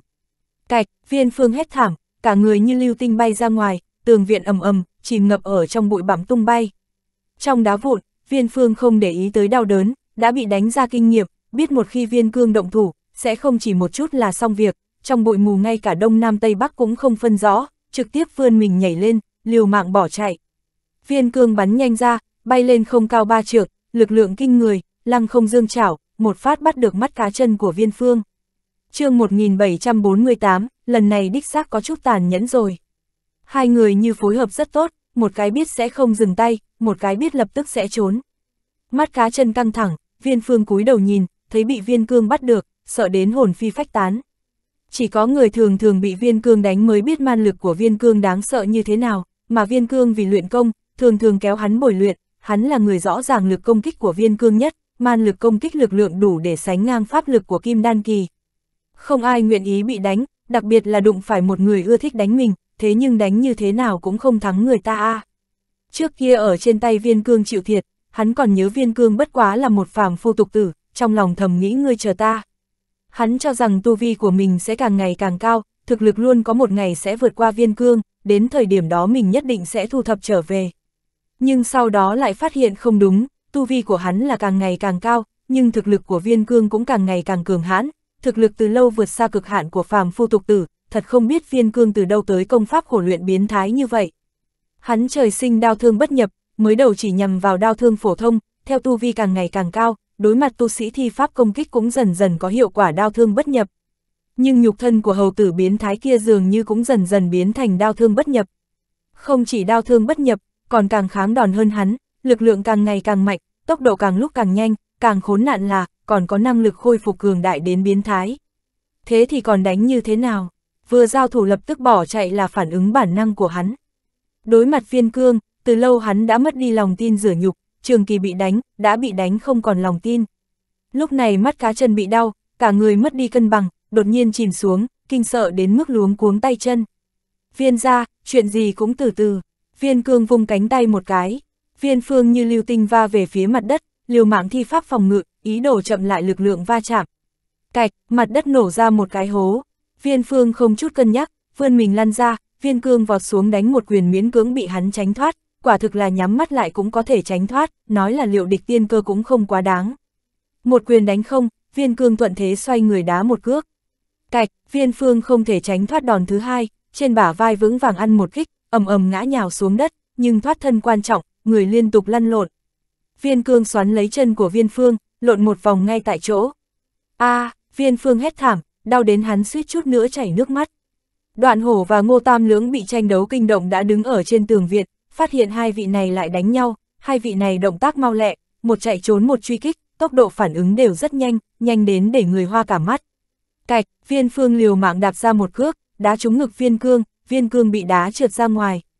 Viên phương lại trốn, đầu cũng không quay lại, ngăn cản hắn, viên cương hét, hai người chính diện giao phong, viên phương căn bản không phải đối thủ của hắn, nhưng hắn cũng có điểm yếu, sức bật của hắn kinh người, nhưng sau khi nhảy lên không là không cách nào đổi hướng phi hành, bây giờ thực lực của viên phương cũng vượt xa quá khứ, một khi viên phương liều mạng muốn trốn mà nói, đặc biệt là ở dưới trường kỳ rèn luyện có kinh nghiệm chạy trốn, viên cương thật rất khó bắt lấy đối phương.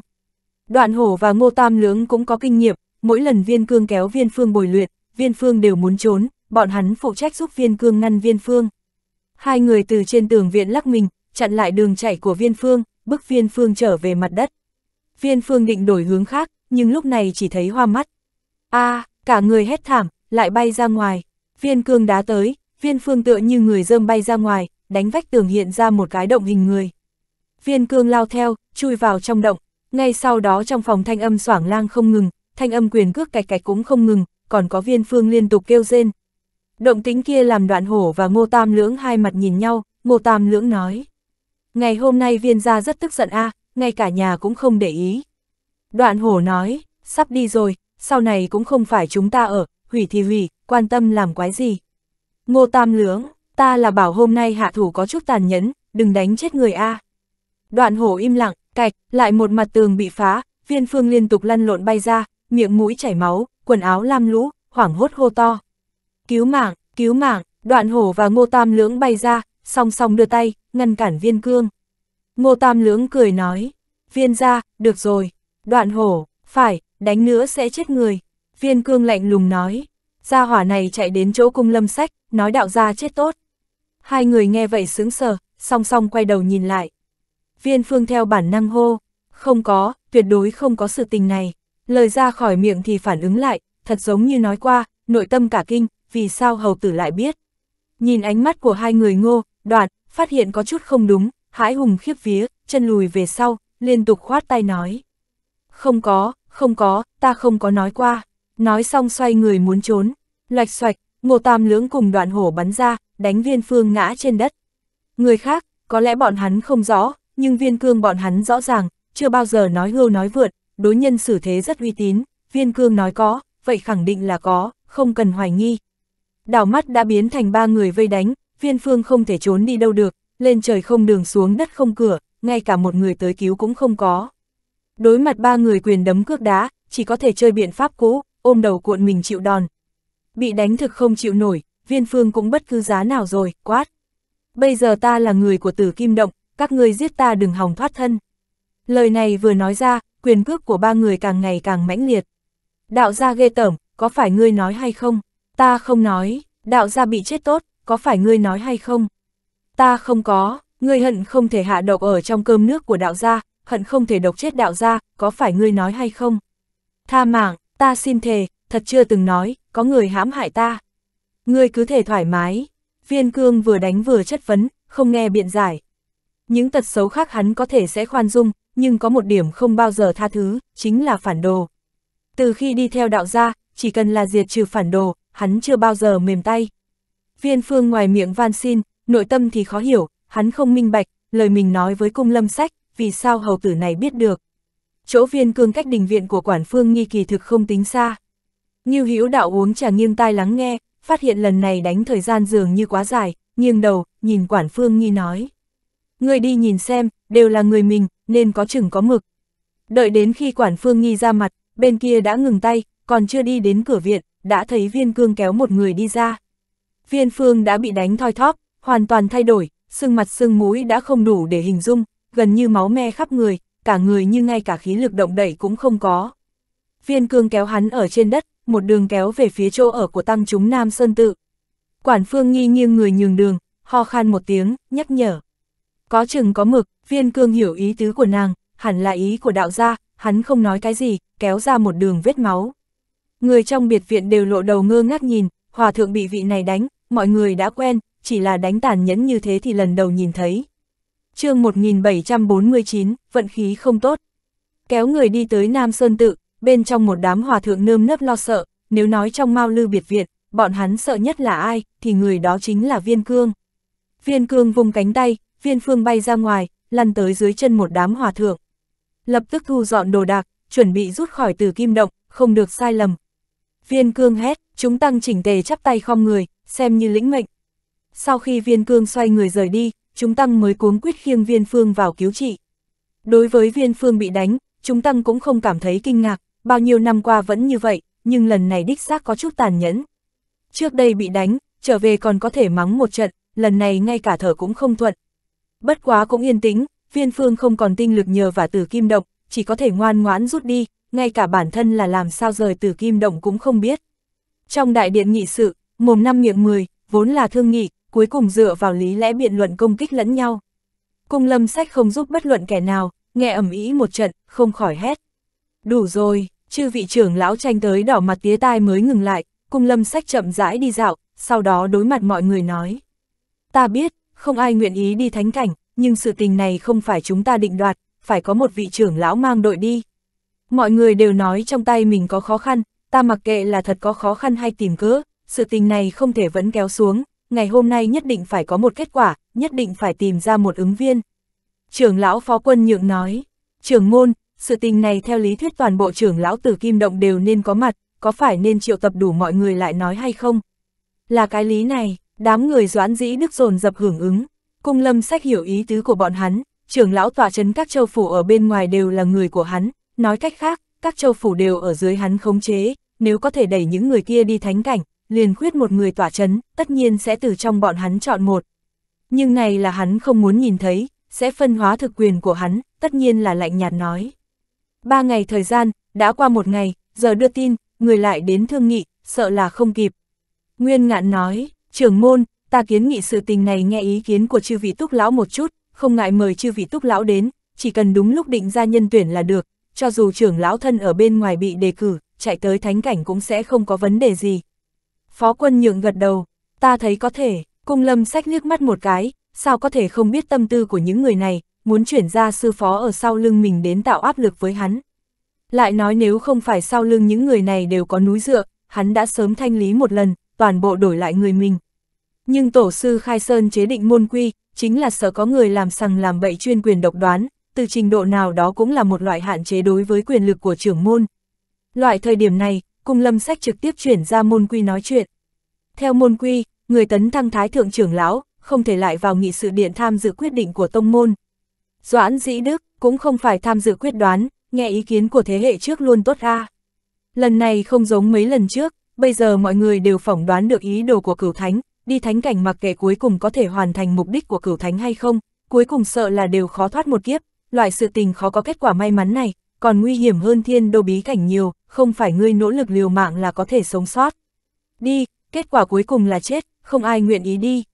Cung lâm sách, không cần phiền phức như vậy, các ngươi nói các ngươi có khó khăn, coi như trưởng lão khác đến, châu phủ các nơi cũng sẽ bốc lên nhiễu loạn, cũng sẽ có khó khăn, cũng sẽ cần bọn hắn chấn thủ, bọn hắn cũng sẽ không thoát thân được, tất cả đều như vậy, sự tình này là không cho ra được kết quả.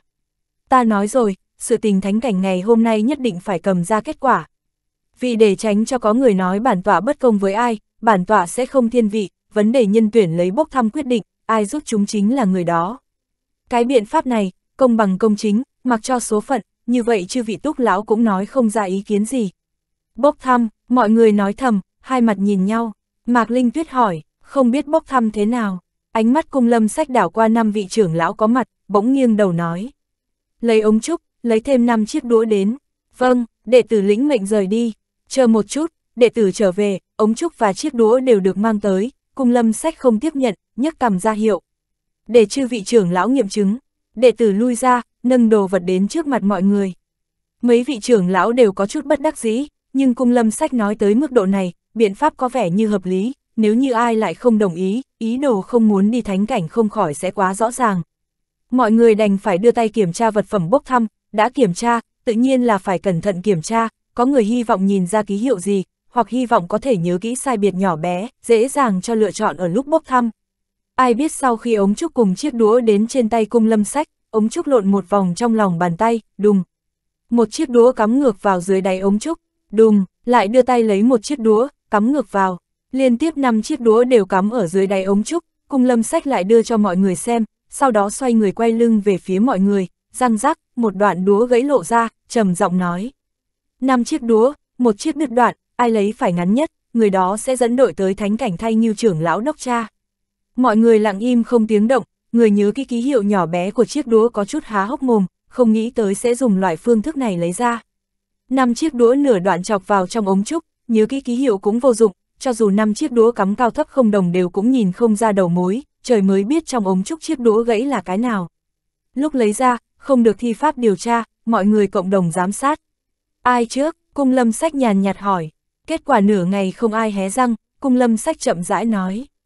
Đã không người hưởng ứng, vậy bản tọa đành phải điểm tên, nghiêm lập, người tới trước đi. Vâng, nghiêm lập đi tới, hắn cực kỳ bình tĩnh, cảm thấy trưởng môn sư huynh có biện pháp để điểm hắn lấy ra. Chậm đã, Doãn dĩ đức bỗng lên tiếng nói, trưởng môn, ta lớn tuổi, để ta tới trước đi. Những người còn lại nhìn nhau, minh bạch ý đồ dành trước của hắn, đũa gãy chỉ có một cái, càng lấy trước càng dễ dàng lấy được không chúng. Đương nhiên, rút trước cũng có khả năng rút chúng, một khi rút chúng, người khác có thể ăn mừng. Cung lâm sách, được, sự tình này bản tỏa quyết định, liền lấy tuổi xếp thứ tự đi. Doãn dĩ đức chắp tay, tiến lên đưa tay, nhưng do dự bất quyết, không biết nên rút cái nào, tay ở trên chiếc đũa di đến rời đi, ánh mắt mọi người cũng theo tay hắn di động. Doãn trưởng lão, lẽ nào vì tông môn gánh chịu trách nhiệm để ngươi khó xử như vậy sao? Cung lâm sách chất vấn, Doãn dĩ nước cắn răng, nắm một chiếc đũa rút ra, hoảng hốt nhìn, kết quả phát hiện là một chiếc đũa hoàn hảo không chút tổn hại, trong lòng đại định, trước tiên cho cung lâm sách nhìn một chút, sau đó lại xoay người cho mọi người nhìn một chút, trong lòng cao hứng không ngớt, nhưng bề ngoài lại rất bình tĩnh lui ra. Tiếp theo là nguyên ngạn, tiến lên lấy ra, kết quả cũng vui mừng, cũng là một chiếc đũa hoàn hảo không chút tổn hại. Tiếp là phó quân nhượng, cũng rút được đũa lành, an tĩnh lui đến một bên. Chỉ còn lại hai người, hai người còn lại đều có chút hoảng, ngay cả nghiêm lập trong lòng cũng có chút thấp thỏm, nói rõ tỷ lệ càng ngày càng nhỏ. chương 1750, đến qua, lại rời đi rồi. Một, bất quá nghiêm lập đỡ hơn Mạc Linh Tuyết một chút, hắn cho rằng cung lâm sách có biện pháp thiên vị mình. Nghiêm lập đang muốn cất bước tiến lên, Mạc Linh Tuyết đột nhiên nói. Theo tuổi xét thứ tự, tuổi của ta nhỏ nhất, đối với ta không khỏi không công bằng. Cung lâm sách nhìn về phía những người khác, hỏi, chẳng lẽ chư vị cũng cảm thấy không công bằng? Phó quân nhượng lập tức nói, nếu như cảm thấy không công bằng, vì sao sớm không nói ra? Nguyên ngạn cũng nói, Mạc trưởng lão, này chính là ngươi không đúng. Vì an toàn ai có thể để sự tình lại nổi lên khúc chiết, tự nhiên là dồn dập nói công bằng.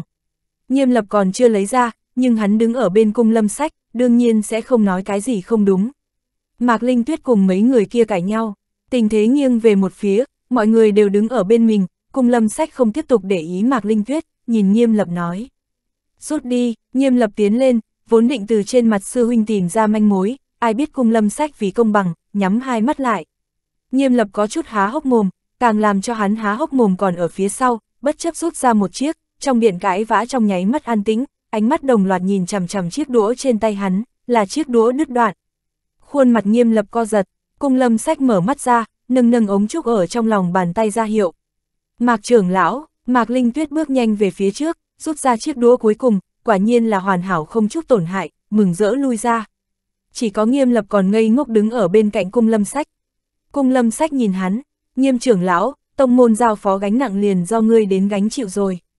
Phó quân nhượng chắp tay cao giọng nói, trưởng môn anh Minh, những người còn lại đồng thời hưởng ứng. Trưởng môn anh Minh, sự tình cứ định như thế, các ngươi lui xuống trước đi. Cung lâm sách phất phất tay, mọi người biết hắn muốn động viên nghiêm lập, nên cung kính nói. Xin nghe pháp chỉ của trưởng môn, sau đó dồn dập lui ra, trước khi rời đi đều nhìn nghiêm lập, ánh mắt đồng tình.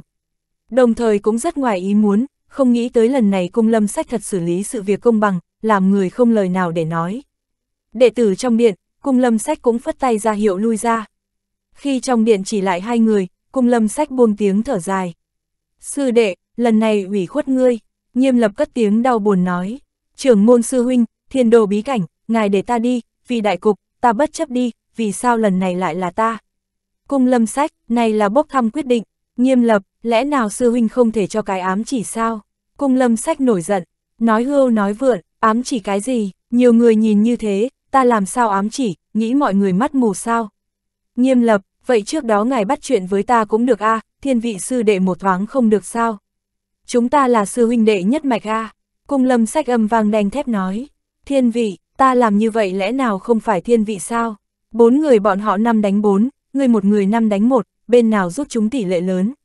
Ta ra hạ sách này đã là thiên vị lớn nhất với ngươi, ta không chỉ là sư huynh ngươi, còn là trưởng môn tử kim độc, ngươi còn muốn ta thiên vị thế nào? Sau đó ngữ khí chỉ hoãn, sư đệ, như vậy cũng có thể bị ngươi giúp chúng, tổ sư ra tại thượng, chuyện này chỉ có thể nói vận khí của ngươi quá kém. Nghiêm lập hồn bay phách lạc, nhưng cũng minh bạch, là cái lý này, bên kia năm rút 4 cũng rút không chúng, bản thân năm rút một cũng có thể rút chúng, từ xác suất mà nói, hắn là chiếm phần thắng tuyệt đối, sư huynh nghĩ ra biện pháp này đích xác đã là rất thiên vị mình, nhưng vận khí của mình không khỏi quá kém đi. Vẻ mặt hắn như đưa đám, sư huynh, như hữu đạo giảo hoạt như vậy, ngay cả hắn cũng mất mạng, ta đi còn có thể sống được sao? Cung lâm sách giận, vậy ngươi để ta làm sao lo liệu? Trước mặt mọi người ra kết quả bốc thăm, mọi người đều nhìn thấy, lẽ nào ngươi muốn ta lật lọng sao? Trong nghị sự điện chuyện ván đã đóng thuyền, nếu ta bất công, ăn nói được sao? Bọn hắn sẽ lập tức tìm chư vị thái thượng trưởng lão ra mặt chủ trì công đạo, đến thời điểm đó ngươi không chỉ phải đi, ta cũng bị làm mặt mày xám xịt, sau đó bọn hắn sẽ cầm sự tình này làm văn, ta làm sao chủ trì sự vụ tông môn, ai có thể phục ta? Chẳng lẽ muốn nội bộ tử kim động chiên năm xẻ bảy sao? Sư đệ, trưởng môn một phái không dễ làm như vậy, thời điểm này ngay cả ngươi cũng không giúp ta, ai tới giúp ta? Ta giúp sư huynh ngươi, nghiêm lập cười thảm, biết sự tình này không cách nào xoay chuyển, người khác sẽ không đồng ý, muốn xoay chuyển sự tình này ngay cả sư huynh cũng không có biện pháp làm được, cũng không có quyền thay đổi, quyền lực của sư huynh cũng không có thể ở tử kim động muốn làm gì thì làm, mọi việc đều phải giảng quy củ. Trong điện an tĩnh một lúc, cung lâm sách than thở. Sư đệ, người đi về tính tâm trước, khi xuất phát đến đây gặp ta, ta có việc căn dặn ngươi, không hẳn nguy hiểm như ngươi nghĩ đâu. Kỳ thực quyết định để nghiêm lập tiến vào thánh cảnh, hắn cũng lo lắng nghiêm lập an toàn, chí ít không hy vọng nghiêm lập sớm chết. Dù sao nghiêu Hữu đạo có kinh nghiệm ở trong thánh cảnh, còn có thể trộm cắp vô lượng quả, có thể thấy được chút ít, cho nên cố ý tìm nghiêu Hữu đạo hỏi qua phương pháp cầu sinh. Biện pháp là có, nhưng căn bản không có biện pháp cố định, phải coi tình huống gặp thời quyết đoán hoặc mưu dài, nhưng lấy bản lĩnh của Nghiêm Lập mà nói, nghiêu Hữu đạo cũng không mong đợi Nghiêm Lập có bản sự kia, chỉ khuyên một câu, cùng bảy phái khác ôm đoàn cùng tiến cùng lui có thể sống lâu một chút. Biện pháp này, cùng Lâm Sách cũng dự định nói cho Nghiêm Lập, nhưng biện pháp này giống như không phải biện pháp, bây giờ lấy tâm thái của đối phương sợ là khó có thể nghe lọt, hiện tại nói ra dễ dàng nổi lên tranh chấp, chờ thời điểm đối phương bắt đầu cân nhắc an toàn rồi nói sau đi. Nghiêm lập hồn bay phách lạc rời đi, cung lâm sách xoay ống trúc, lại có nửa đoạn chiếc đũa từ trong ống trúc lướt xuống trong lòng bàn tay, mặc kệ nghiêm lập rút cái nào, rút trước hay sau, thì kết quả đều không khác nhau chút nào. Thay đổi người khác, rút phải chiếc này, dưới không cam lòng làm không cẩn thận sẽ yêu cầu nghiệm chứng, biện pháp này liền không thể thực hiện được. Thế nhưng nghiêm lập sẽ không, nghiêm lập làm sao cũng sẽ không hoài nghi trưởng môn sẽ cố ý hại hắn, chỉ sẽ cho rằng vận khí của mình không tốt. Mà người khác may mắn tránh thoát, sẽ không tìm thêm phiền toái, cũng sẽ không nghĩ tới đi kiểm tra.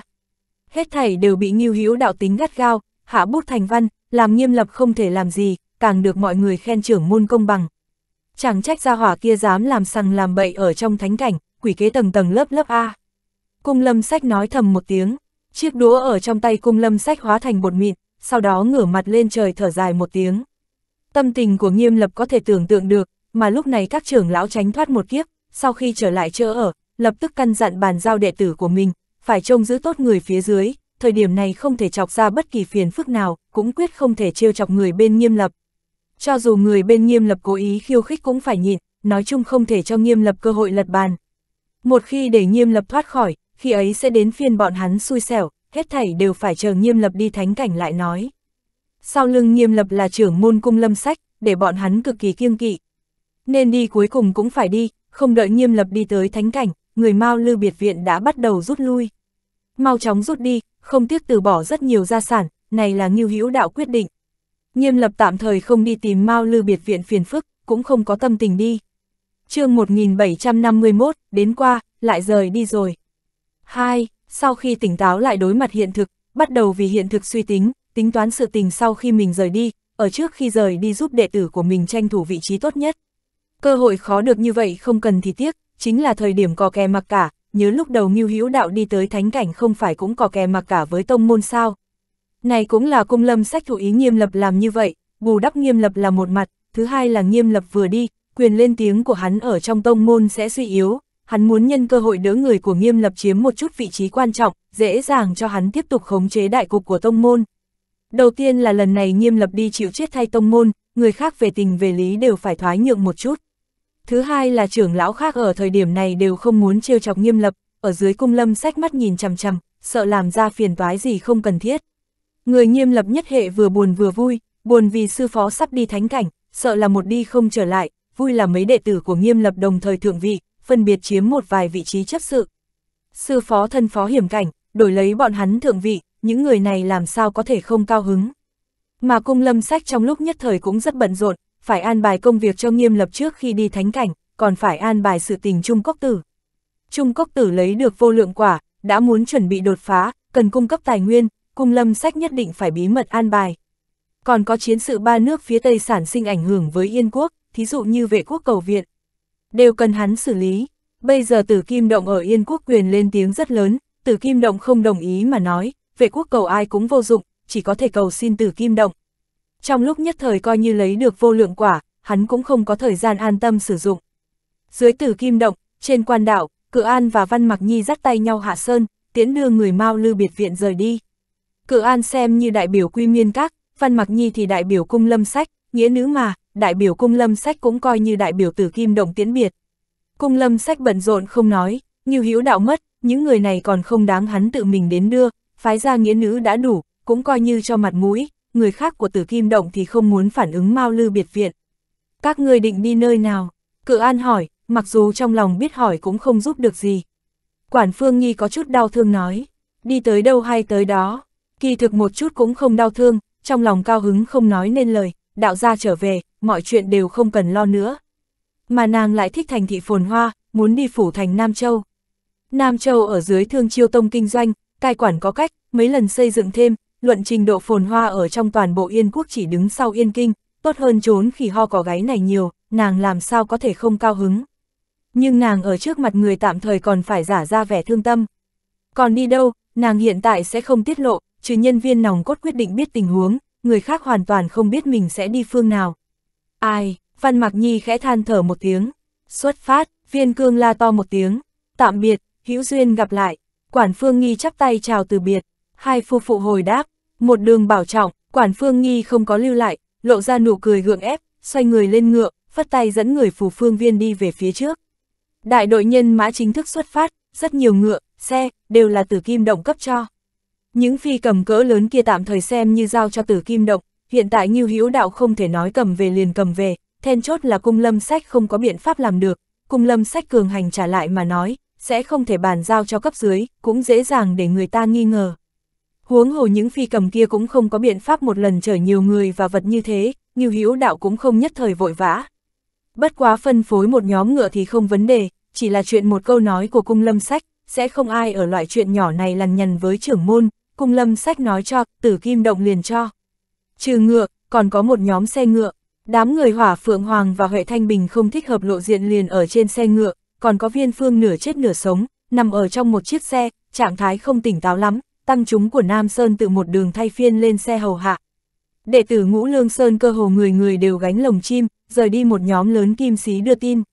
Một màn này làm trưởng môn công tôn bố thở dài, nhiều hữu đạo vừa chết, ngũ lương Sơn nên đi con đường nào thành sự tình hắn nhất định phải cân nhắc, tạm thời cũng chỉ có thể đi theo, nhìn xem tình huống của nhân viên bên Mao Lư Sơn Trang lại nói.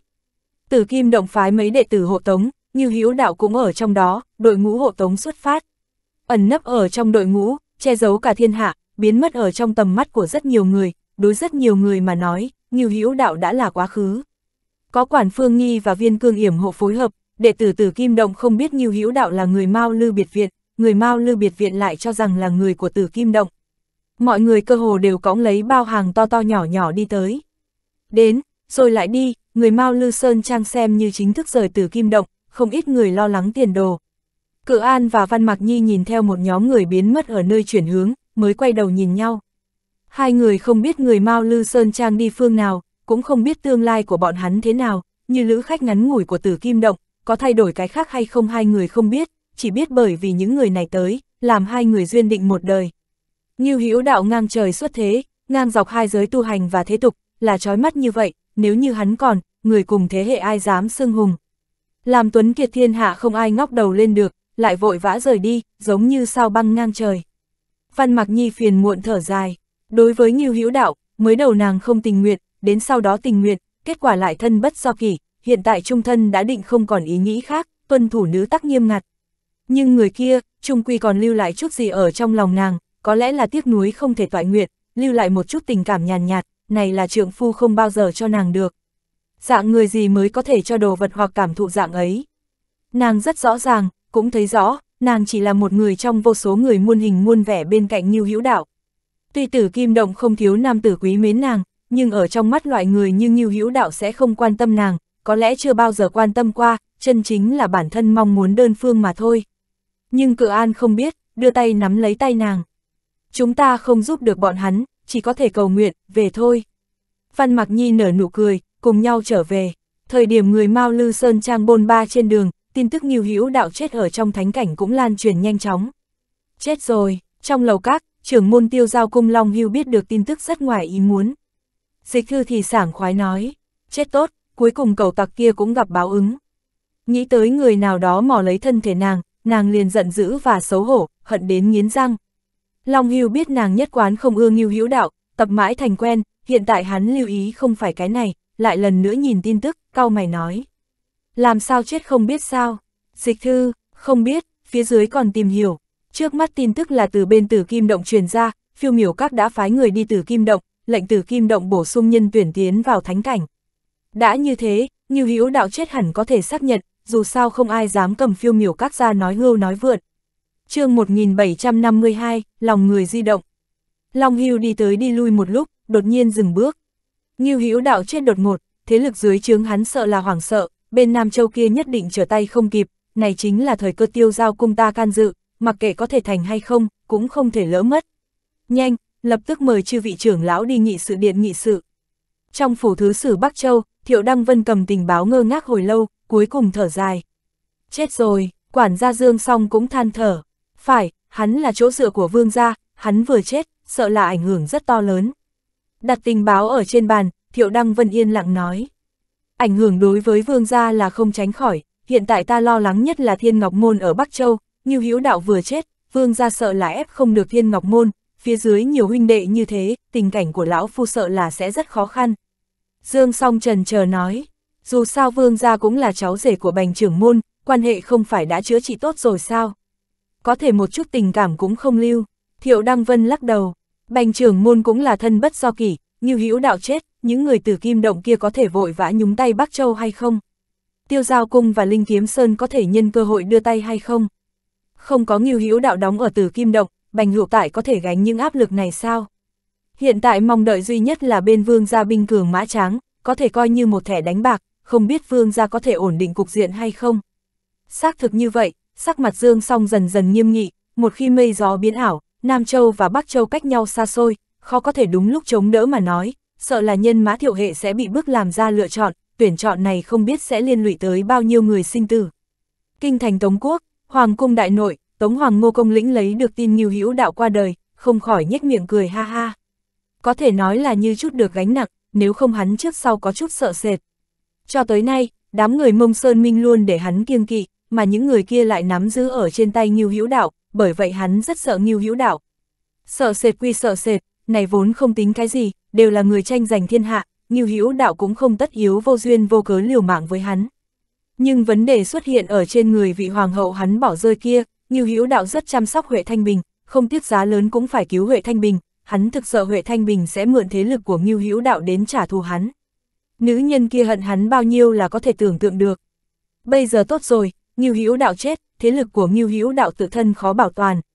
Mà không có Nghiêu Hữu đạo, Huệ Thanh Bình sẽ không gây được xích mích, bằng Huệ Thanh Bình là không làm gì được hắn, ngay cả tiếp cận hắn cũng không có cơ hội. Vào giờ phút này, thật có thể nói bất một họa lớn, thật là cao hứng, cao giọng truyền phi tử đến ăn mừng tận hứng. Trong phủ thừa tướng, tử bình hưu và giả vô quần đối mặt tĩnh tọa. Sau khi lặng im một lúc, giả vô quần cầm bút viết xuống một hàng chữ chết đáng tiếc rồi. Kinh thành yên quốc, trong phủ đại tư không, dưới mái hiên yên tĩnh, Cao Kiến Thành chắp tay nhìn ánh trăng, sau một lúc lâu mới nói. Chết thật rồi, quản gia Phạm Chuyên lên tiếng, vẻ mặt lo lắng, thấp giọng nói. Ngưu Hữu đạo chết, đại công tử còn ở trên tay những người kia. Cao Kiến Thành nói, thiếu minh an toàn ngược lại không đến nỗi ra vấn đề gì, mặc kệ Ngưu Hữu đạo chết hay sống, những người kia đều không đến nỗi giết thiếu minh, làm như vậy không có bất kỳ chỗ tốt. Hiện tại bọn hắn bị tử kim động đuổi, đi con đường nào khó liệu, ta sợ là sợ những người này chó cùng rứt dậu lợi dụng thiếu minh làm sự tình gì. Một khi thiếu minh lộ ra ngoài, một khi để triều đình biết, cao phủ ngàn cân treo sợi tóc. Phạm chuyên, bây giờ nên làm sao lo liệu, cao kiến thành, trước tiên đừng manh động, phái người nhìn chăm chú hướng đi của những người kia, nhìn xem tình huống lại quyết định. Được, lão nô sẽ đi an bài. Phạm chuyên đáp lại, cấp tốc rời đi. Ai, Cao Kiến Thành một mình tắm rửa ở dưới bóng đêm bỗng nhiên nỉ non nói. Vị này vừa chết, sợ là sẽ tác động toàn bộ thế cục của Yên Quốc. Quang Châu, vốn là địa bàn của Triệu Quốc, sau Yên Triệu chi chiến, cũng coi như là chỗ tốt của Hiểu Nguyệt Các khi nhờ Yên Quốc xuất binh, bây giờ đã giao cho Yên Quốc, thuộc về phạm vi thế lực của Tử Kim Độc, do Đại Thiền Sơn bị Ngưu Hữu Đạo đá ra Nam Châu trưởng quản. Chết rồi, Ngưu Hữu Đạo chết rồi. Hoàng Liệt nhìn thấy tin tức, không khỏi cười ha ha. Cười xong, phát hiện trưởng lão Phong Ân Thái đứng ở bên cạnh lộ ra trầm mặc, Hoàng Liệt cười hỏi. Làm sao, sư đệ tiếc hận huynh đệ kết bái kia sao? Phong Ân Thái cười khổ, lắc đầu, mặc kệ lúc trước kết bái là chân tâm hay giả dối, nhưng có một điểm không thể không thừa nhận, Ngưu Hữu Đạo làm người không tệ, trong lợi ích ân oán gút mắc còn có thể làm đến có tình có nghĩa, loại người này rất hiếm thấy. Trước đây là không dám giúp Ngưu Hữu Đạo nói chuyện như vậy, bây giờ Ngưu Hữu Đạo đã chết, nói ra lời tự đáy lòng cũng không sao. Hoàng Liệt gật đầu, Đại Thiền Sơn ta từ Bắc Châu bị hắn đá đến Nam Châu, lại bị hắn ném tới Quang Châu, nhưng Thủy Trung không thể làm gì, không thừa nhận cũng không được, Như Hữu Đạo này đích xác có chút bản sự, chết rồi xác thực đáng tiếc, bất quá đối với Đại Thiền Sơn ta là chuyện tốt. Nếu như hắn còn, trước sau lấy Nam Châu và Kim Châu kiềm chế Quang Châu ta, cộng thêm thân phận trưởng lão tử kim động của hắn, làm Đại Thiền Sơn ta không dám nghịch ý hắn. Nhưng bây giờ hắn vừa chết, Nam Châu quy về nhà ai cũng chưa biết, tam đại phái của Yên Quốc sợ là phải có một hồi tranh cướp. Không có nghiêu hữu đạo áp chế các phương, thượng tầng từ kim động đấu võ, trạng thái Nam Châu và Kim Châu kết minh còn có thể tiếp tục kéo dài hay không là vấn đề. Dưới tình huống bây giờ, chỉ cần thái độ của Đại Thiền Sơn ta mơ hồ, tam đại phái của Yên Quốc cũng phải lấy lòng Đại Thiền Sơn ta, những áp lực kia cũng sẽ biến mất, sau này Đại Thiền Sơn ta sẽ dễ chịu hơn nhiều lắm, không cần giống như vợ nhỏ nhìn sắc mặt người khác khắp nơi. Thông báo thám tử bên Kim Châu và Nam Châu, gia tăng quan tâm hai châu, có dị động gì lập tức báo lên.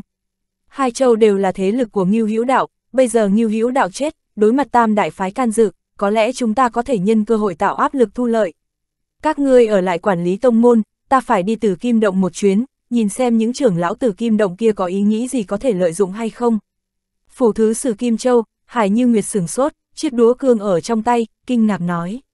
Chết rồi, hắn là người có bản lĩnh như vậy, làm sao sẽ chết? Lê Vô Hoa than thở, có bản lĩnh lại thế nào? Đi thánh cảnh, ở trong thánh cảnh lại tính là cái gì? Giết chết hắn, còn không phải bóp chết một con run dế.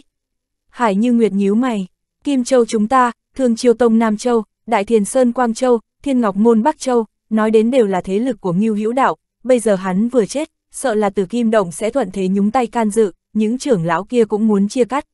Làm không tốt tiêu giao cung và Linh Kiếm Sơn cũng sẽ nhân cơ hội nhúng tay vào, thế cục hơi rắc rối rồi. Lê Vô Hoa, phải, ta cũng là vừa biết được tin tức, chính bởi vì lo lắng cái này, trưởng môn đã khẩn cấp chạy tới Nam Châu, tiếp những người ở Nam Châu kia, muốn nhìn thái độ của bọn hắn thế nào. Chết rồi, Hải Như Nguyệt thổn thức, Lê Vô Hoa cũng bất đắc dĩ lắc đầu, từ góc độ ổn định mà nói, bọn hắn hy vọng duy trì hiện trạng, không muốn đối mặt biến cố khó có thể chịu đựng. Mà từ cảm tình mà nói, Ngưu Hữu đạo cứu qua Hải Như Nguyệt, đã cứu nhi tử của bọn hắn, quan hệ song phương không tệ, vẫn hy vọng đứng ở bên Ngưu Hữu đạo. Chương 1753, thật trăm phần trăm một. Nhưng Ngưu Hữu đạo đã chết rồi, khả năng sẽ xuất hiện mây gió biến ảo, muốn không đối mặt sợ là cũng không được. Hương Giã Sơn thôn, trong một trường tư thục, một bạch diện tiên sinh đang ở trong học đường rung đùi đắc ý, dạy một đám hài tử đọc sách. Bạch diện tiên sinh không phải người khác, chính là hoàng đế triệu quốc hải vô cực, bây giờ đã cạo dâu, thay hình đổi dạng, như biến thành người khác. Tiên sinh dạy học ở nơi này tương tự hải vô cực, vốn là đế vương ở trong bóng tối an bài thế thân dự bị, nhưng bản thân tiên sinh dạy học lại không biết. Cái thế thân này có thể mãi mãi cũng không cần, nhưng hải vô cực đến, vị tiên sinh chân chính kia lại hoàn toàn biến mất. Toàn bộ tình huống trong thôn trang, còn có tình huống của vị tiên sinh kia, đã sớm ở trong bóng tối nắm giữ, hải vô cực ghi nhớ xong trực tiếp nối vào, đây chính là lực lượng của một quốc gia ở trong bóng tối bố trí cơ mật. Tan học, các hài đồng hoan hô rời đi, một người bán hàng rong đi tới bên ngoài học đường, cùng tiên sinh đi ra chạm mặt. Người bán hàng rong là người trong thôn này, đa số bán hàng ở bên ngoài, rất ít khi về thôn. Nhưng thân phận của người bán hàng rong này là cửu thánh hạ lệnh nghiêm mật truy tra, đại nội tổng quản Gia Cát Trì. Thân phận của Gia Cát Trì là thật, thân phận người bán hàng rong của hắn cũng là thật, từ trước tới nay ở trong thôn này, người trong thôn đều biết vị này bán hàng rong, chỉ là bởi vì hắn trường kỳ làm ăn bên ngoài ít khi trở về mà thôi. Khi ra các chỉ lụ khụ già nua, chính là đại nội tổng quản trong Hoàng cung triệu quốc. Khi ra các chỉ diện mạo trẻ tuổi, chính là người bán hàng rong ra ngoài làm ăn xong trở lại thôn nhà. Bây giờ dường như đi đứng bất tiện, ở bên ngoài bôn ba không nổi nữa, người bán hàng rong trở về, bắt đầu an cư ở trong thôn làm nông. Hết thảy đều núi tiếp thiên y vô phùng, có tu sĩ đến tra hỏi qua thôn này, cũng có quan binh hoặc gián điệp bí mật ám tra nơi này, nhưng không ai có thể phát hiện bất kỳ dị thường. Bất kể là tiên sinh dạy học, hay người bán hàng rong, vốn là người trong thôn, người trong thôn ngoài thôn đều biết, ngay cả người quan phủ cũng biết, không có bất kỳ vấn đề. Mà hết thảy đều là trước kia ra các chị an bài, hắn trải qua mấy chiều, giữ nghiêm bí mật của mình, cũng gánh vác sứ mệnh bảo hộ hoàng đế của mấy chiều. An bài tương tự không chỉ ở triều đại của Hải vô cực, bao quát hoàng đế tiền triều, hắn cũng tự tay ở địa phương khác bí mật làm qua an bài tương tự. Làm như vậy cũng là bị bất đắc dĩ, không phải lo lắng hoàng triều bị diệt an bài hậu thủ, ai cũng khó có thể dự liệu đường đường triệu quốc sẽ sụp đổ như vậy. Bất kể là hoàng đế các đời, hay bản thân Gia Cát Trì, đều biết hậu quả khi bí mật của Gia Cát Trì bại lộ, không chỉ Gia Cát Trì chết, hoàng đế cũng khó thoát một kiếp, bởi vậy mới có an bài như vậy. Một khi bại lộ, chạy trốn có thể có địa phương ẩn thân, bằng không thiên hạ to lớn, cũng khó thoát thế lực khổng lồ của cửu thánh cha qua một lần. Hai người đi ra lớp học, chậm rãi bước ở bên hàng rào, dưới chân cẩn thận tránh ra phân châu. Ra thôn trang, đi tới bên cầu nhỏ, nước chảy róc rách ở dưới chân. Phóng tầm mắt nhìn lại, đồng ruộng xanh tươi, châu bò thản nhiên gặm cỏ, xa xa núi cao như tranh vẽ. Tiên sinh hình như có cảm khái nói, Giang Sơn như hỏa, người bán hàng rong lắc đầu. Tiên sinh, để xuống đi, từ lúc ta ra tay, Giang Sơn này liền cầm không trở lại, mạnh mẽ lấy nhất định sẽ bỏ mạng, đến lúc đó ta cũng không giữ được ngài, nhìn xem là được. Tiên sinh nói, mẫu thân vẫn tốt chứ, người bán hàng rong, không biết, đi qua một lần, phát hiện tình huống có chút không đúng, bên kia rất có khả năng bày xuống thiên la địa võng, đang chờ chúng ta, không dám đi nữa. Bất quá tiên sinh có thể yên tâm, có đại cô nương ở đó, nhất định sẽ đối xử tử tế với lão phu nhân. Tiên sinh dạy học, ngươi tới gặp ta, là vì chuyện gì? Người bán hàng rong, có một tin tức tốt để tiên sinh tiêu hờn dỗi, như Hữu Đạo chết rồi, chết ở trong thánh cảnh, không biết chết ở trong tay ai, nhưng có thể khẳng định, đích xác là chết rồi. Khóe miệng tiên sinh dạy học co giật một thoáng, trong mắt hiện lên hận ý. Bị chết rất tốt, chết trong tay người khác tiện nghi hắn. Triệu quốc bị diệt, hắn quá rõ ràng, gây ra yên triệu chi chiến chính là Ngưu Hữu Đạo, chính bởi vì Ngưu Hữu Đạo mới có hiểu nguyệt các khởi binh liên hiệp công triệu, hắn hận nhất chính là Ngưu Hữu Đạo. Sau khi Triệu quốc bị diệt, bọn hắn tránh né chạy nạn, thật không dễ dàng mới an thân, hắn nuốt không trôi oán khí, thay đổi ai cũng khó có thể nuốt xuống ngụm oán khí kia. Không chỉ diệt quốc, mà là cửa nát nhà tan chân chính, trốn vội vàng, rất nhiều gia quyến không thể mang ra, cũng không dám mang, đều là một đám người hình dạng, khí độ phi phàm, lại không có năng lực tự gánh vác sinh hoạt cơ bản, một đám người như thế trốn đi mà nói, căn bản tránh không khỏi tai mắt người hữu tâm, bất đắc dĩ chỉ có thể từ bỏ. Bao nhiêu nhi nữ, bao nhiêu thê thiếp, hoặc thành quỷ dưới đao, hoặc thành đồ chơi của người khác, hắn còn nhất định phải coi như không biết. Biết thì thế nào, mỗi một người sống sót, nhận hết ngược đãi, đều có khả năng là mồi dùng để câu hắn. Ngay cả nhắc cũng không dám nhắc tới, nhắc tới sẽ làm trái tim đau nhức. Cả ngày lẫn đêm, mỗi khi nhớ tới, trái tim sẽ dỉ máu. Đã từng nắm giữ càng nhiều, lúc từ bỏ ý nghĩa trả giá sẽ càng lớn. Có lẽ vô vọng phục quốc, nhưng báo thù hẳn có thể chứ. Hắn hạ lệnh cho Gia Cát Trì, muốn Gia Cát Trì lấy tính mạng những kẻ thù kia. Nhưng Gia Cát Trì không đồng ý, giết người đối với hắn mà nói rất dễ dàng, nhưng cũng rất dễ dàng bại lộ hành tung. Kim Châu Nguyên là địa bàn của triệu quốc, trong đó trôn không ít tai mắt, tao ngộ của thương ấu lan ở Kim Châu, bị phiêu miểu các tìm tới, hắn đã biết rồi. Phiêu miểu các lại tìm tới thương ấu lan, phiêu miểu các vậy mà can dự sự tình này. Hắn lập tức ý thức được sự tình bản thân lo lắng nhất phát sinh, mình đã bị cửu thánh nhìn chằm chằm, đối mặt tồn tại khủng bố như cửu thánh, hắn nào dám vọng động. Đối phó người khác, hắn còn có nắm chắc, nhưng đối phó lão quái vật chiếm giữ tu tiên giới mấy trăm năm, hắn một chút nắm chắc cũng không có, đoán chừng ngay cả ô thường tư lịch cạn nhất cũng có thể dễ dàng làm hắn nằm xuống, cộng thêm thế lực khổng lồ của 9 người kia.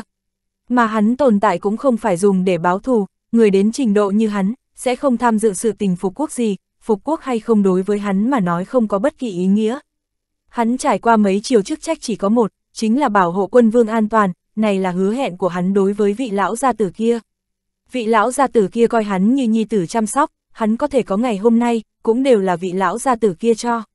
Trước khi lão gia tử lâm chung, hắn quỳ gối ở giường trước đáp ứng, bảo đảm ba đời quân vương an toàn, sau đó hắn có thể lặng yên rời đi. Chỉ bảo đảm ba đời, là bởi vì lão gia tử rõ ràng, vị này vẫn sống ở trong tầm mắt của mọi người không thích hợp, tối đa chỉ có thể bảo đảm ba đời, bằng không sẽ hại đối phương. Nhưng Hải vô cực thật không cam lòng, tan cửa nát nhà đến mức độ như vậy, thê nữ sống sót ngày đêm chịu nhục, làm sao có thể nuốt xuống oán khí này. Cuối cùng hắn lùi lại mà cầu việc khác, Ngưu Hữu Đạo, hắn chỉ cần Ngưu Hữu Đạo chết là được, hắn chỉ cần đầu của Ngưu Hữu Đạo là được. Chỉ một điều kiện như thế, cuối cùng Gia Cát chỉ đáp ứng, bằng thực lực của hắn, chỉ giết một người không tính cái gì, cho dù Ngưu Hữu Đạo trốn ở trong Tử Kim Động cũng vô dụng, hắn muốn ra vào Tử Kim Động, lực lượng phòng ngự của Tử Kim Động căn bản không cản được hắn. Chương 1754, thật trăm phần trăm hai. Duy nhất cần xác nhận là, Ngưu Hữu Đạo có ở Tử Kim Động hay không, phải xác nhận vị trí, không thể tùy tiện giết vào, bằng không chỉ một mình hắn, Tử Kim Động to lớn, Ngưu Hữu Đạo tùy tiện tìm một chỗ trốn một chút, cũng đủ để hắn tìm mấy ngày. Hắn tổng không thể ở trong Tử Kim Động chậm rãi tìm chứ. Thật muốn làm như vậy chính là tìm chết, phải nhanh, sau khi xác định, thẳng đến mục tiêu, lại cấp tốc rời đi. Ai biết còn không đợi hắn chuẩn bị tốt, Ngưu Hữu Đạo đã bị phái vào thánh cảnh, không còn cơ hội hạ thủ. Bây giờ cũng không cần hắn hạ thủ, Ngưu Hữu Đạo đã chết rồi. Một nhóm xe ngựa dừng lại, lâm thời nghỉ ngơi, vân cơ lên núi, đứng ở trên sườn núi nhìn về phương xa. Quản phương nghi cũng tới, không nhanh không chậm đến bên cạnh nàng, bồi tiếp nàng đồng thời nhìn về phương xa, vân cơ quay đầu lại nhìn nàng. Vân tỷ tỷ đối với tương lai có dự định gì không? Quản phương nghi bỗng nhiên cười hỏi, vân cơ, hẳn là hỏi ngươi có dự định gì, người một nữ nhân lo liệu nhiều người như thế cũng không dễ dàng. Quản phương nghi, kỳ thực cũng không tính là gì, người bận tâm không phải ta, ta chỉ là chân chạy mà thôi. Ngược lại là vân tỷ tỷ ngươi, không có hứng thú với quyền thế, nơi này của ta sợ là không giữ được ngươi. Vân cơ, không phải ta không có hứng thú với quyền thế, mà là không thể có hứng thú, có hứng.